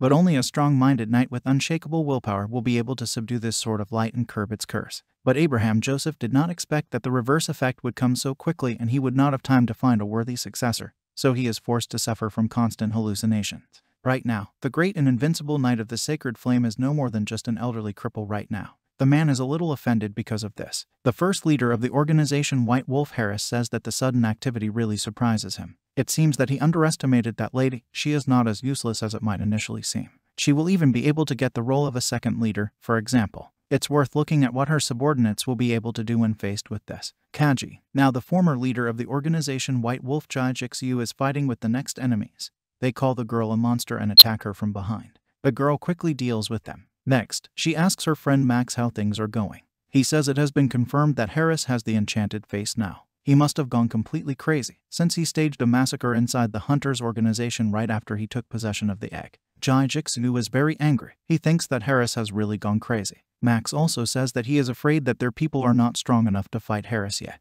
He's already teamed up with his third leader, Kaji, and it's possible that this attack could end in death. Then Kate appears. She also has an opinion on this matter. She says that Harris has a powerful force. Among the White Wolves he is closest to the frightening level, but Kaji has trained many hunters of the organization. She is also afraid that the two have specifically teamed up against Jai Jixu. Kate is sorry that Milady is faced with the betrayal of a vile person who is looking for the person behind her. Jai Jixu thanks Kate for such words. If Kate hadn't changed clothes with the girl then, and hadn't helped her to restrain her pursuers, she would never have come out of that siege. Now Jai Jixu is standing in front of Kate, struggling with the obstacles of fate, and all thanks to Kate herself. Kate thinks Milady is really amazing. She doesn't know what happened to her.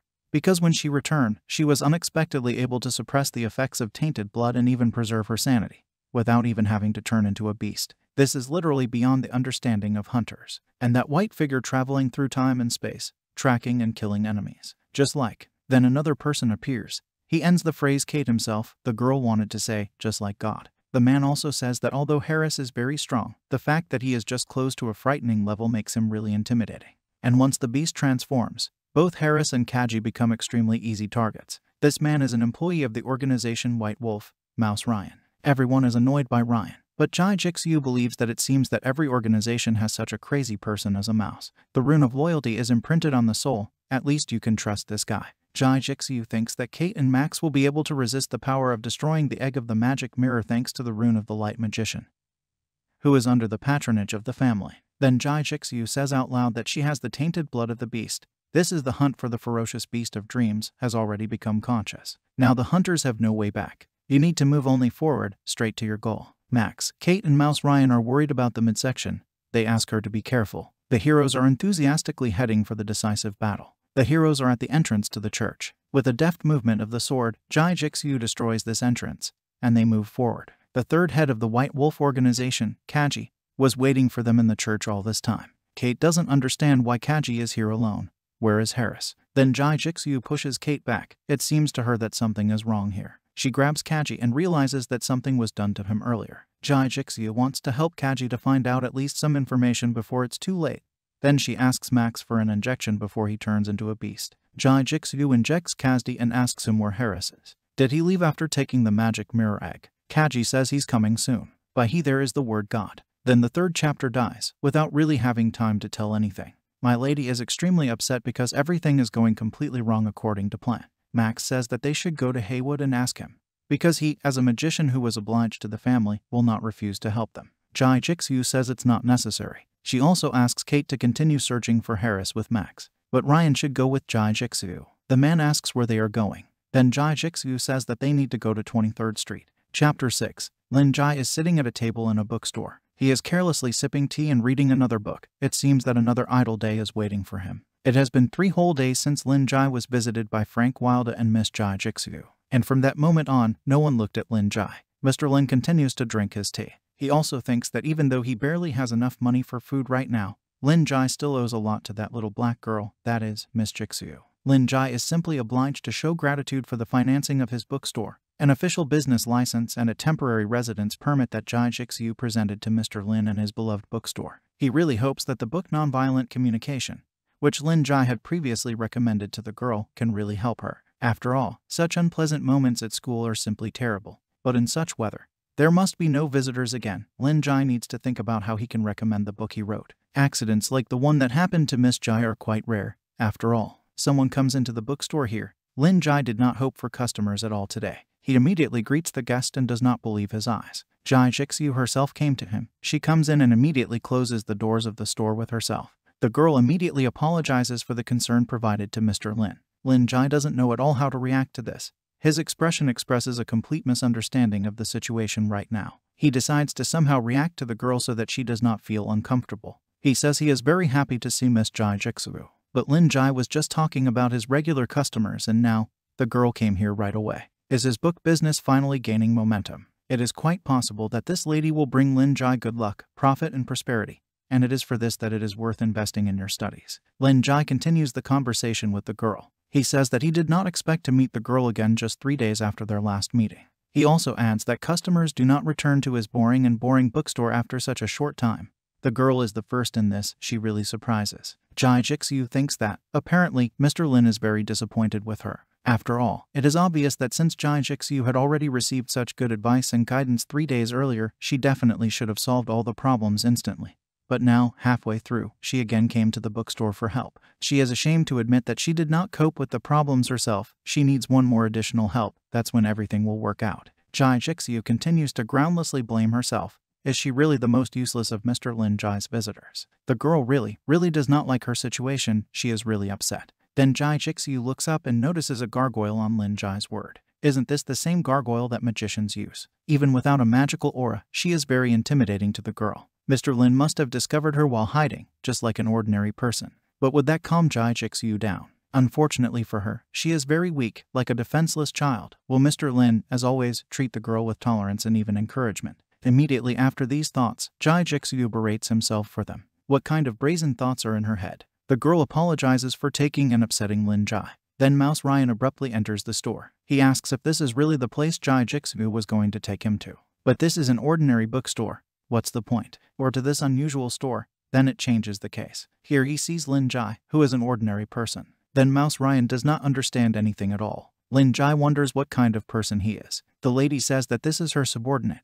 His loyalty is 100% absolute, do not worry about it. Lin Jai is unhappy with this man. He feels sorry for the girl in his own way, because this poor child is actually surrounded by some scoundrels. Ryan's mouse apparently should have a loyalty mark. Then Lin Jai notices something strange. After all, if Jai Jixiu had already taken revenge on that terrible person, as Mr. Lin advised earlier, then the girl would not be so confused and insecure now. Besides, how could she upset the hero, as she said earlier? Had Lin Jai's worst suspicions been confirmed? Then he asks Miss directly if she has failed in her revenge. Jai Jixiu is not at all surprised that Mr. Lin already knows everything. She honestly admits that yes, she completely failed. This man ran away from her, and her people still don't know where. She has already sent someone to look for this man, but there are still no leads yet. Jai Jixu's fight with him lasted two days, and she made so much progress thanks to Lin Jai's leadership that Harris was already steadily retreating. But yesterday, after five hours of fierce fighting, despite the great expense, Miss Jai was able to destroy his headquarters. Yet by that time Jai Jixu realized that Harris already knew that her opponent was not himself. So after abandoning his ally, he ran away, and now it seems to the girl that she underestimated the enemy and the fact that everything was going smoothly was just an unusual warning. Lin Jai is very surprised by this story. Jai Jixiu apologizes to Mr. Lin because the girl got carried away so quickly. Lin Jai says that she shouldn't apologize. It's not a girl's mistake. Then the hero sips his tea. He doesn't fully understand what happened. And really, what's wrong? How did this lovely lady turn human relations into a war? Although, to be fair, everyone says that love is like a battlefield. Only in this case, love is the battlefield. Lin Jai keeps thinking about it. It is possible that this miss is used to using some business terms, which is why her descriptions have become so suspicious and strange. It will be easier to explain it this way, apparently. What Jai Lin meant was that she had been communicating with that bad man for three days, but in the end the lady realized that this cunning man had already found a good way to escape from the girl. After all, he had prepared in advance. That is, that he left a friend as bait and disappeared with the money stolen from Jai Jiusu. So that's it. Lin Jai says he understood everything. Then the girl is very interested in what Mr. Lin thinks about all this. That's where Mouse Ryan got completely confused. Who is this person for Miss? What's going on here anyway? Earlier, it turned out that the mouse reports information to the other side. He called his customer and told him what he had found out. He found out that the Black Faceless is now in the city. The person on the other side of the connection is surprised that Ryan found out about such top secret information. Ryan asks if he really doubts the reliability of his information. The voice on the phone says, of course not. As expected from Mr. Ryan, he easily did what they could not. It's so exciting that the blood runs cold. Ryan says there's no need to flatter him. His next target will be one girl. Ryan should take the loyalty mark as insurance.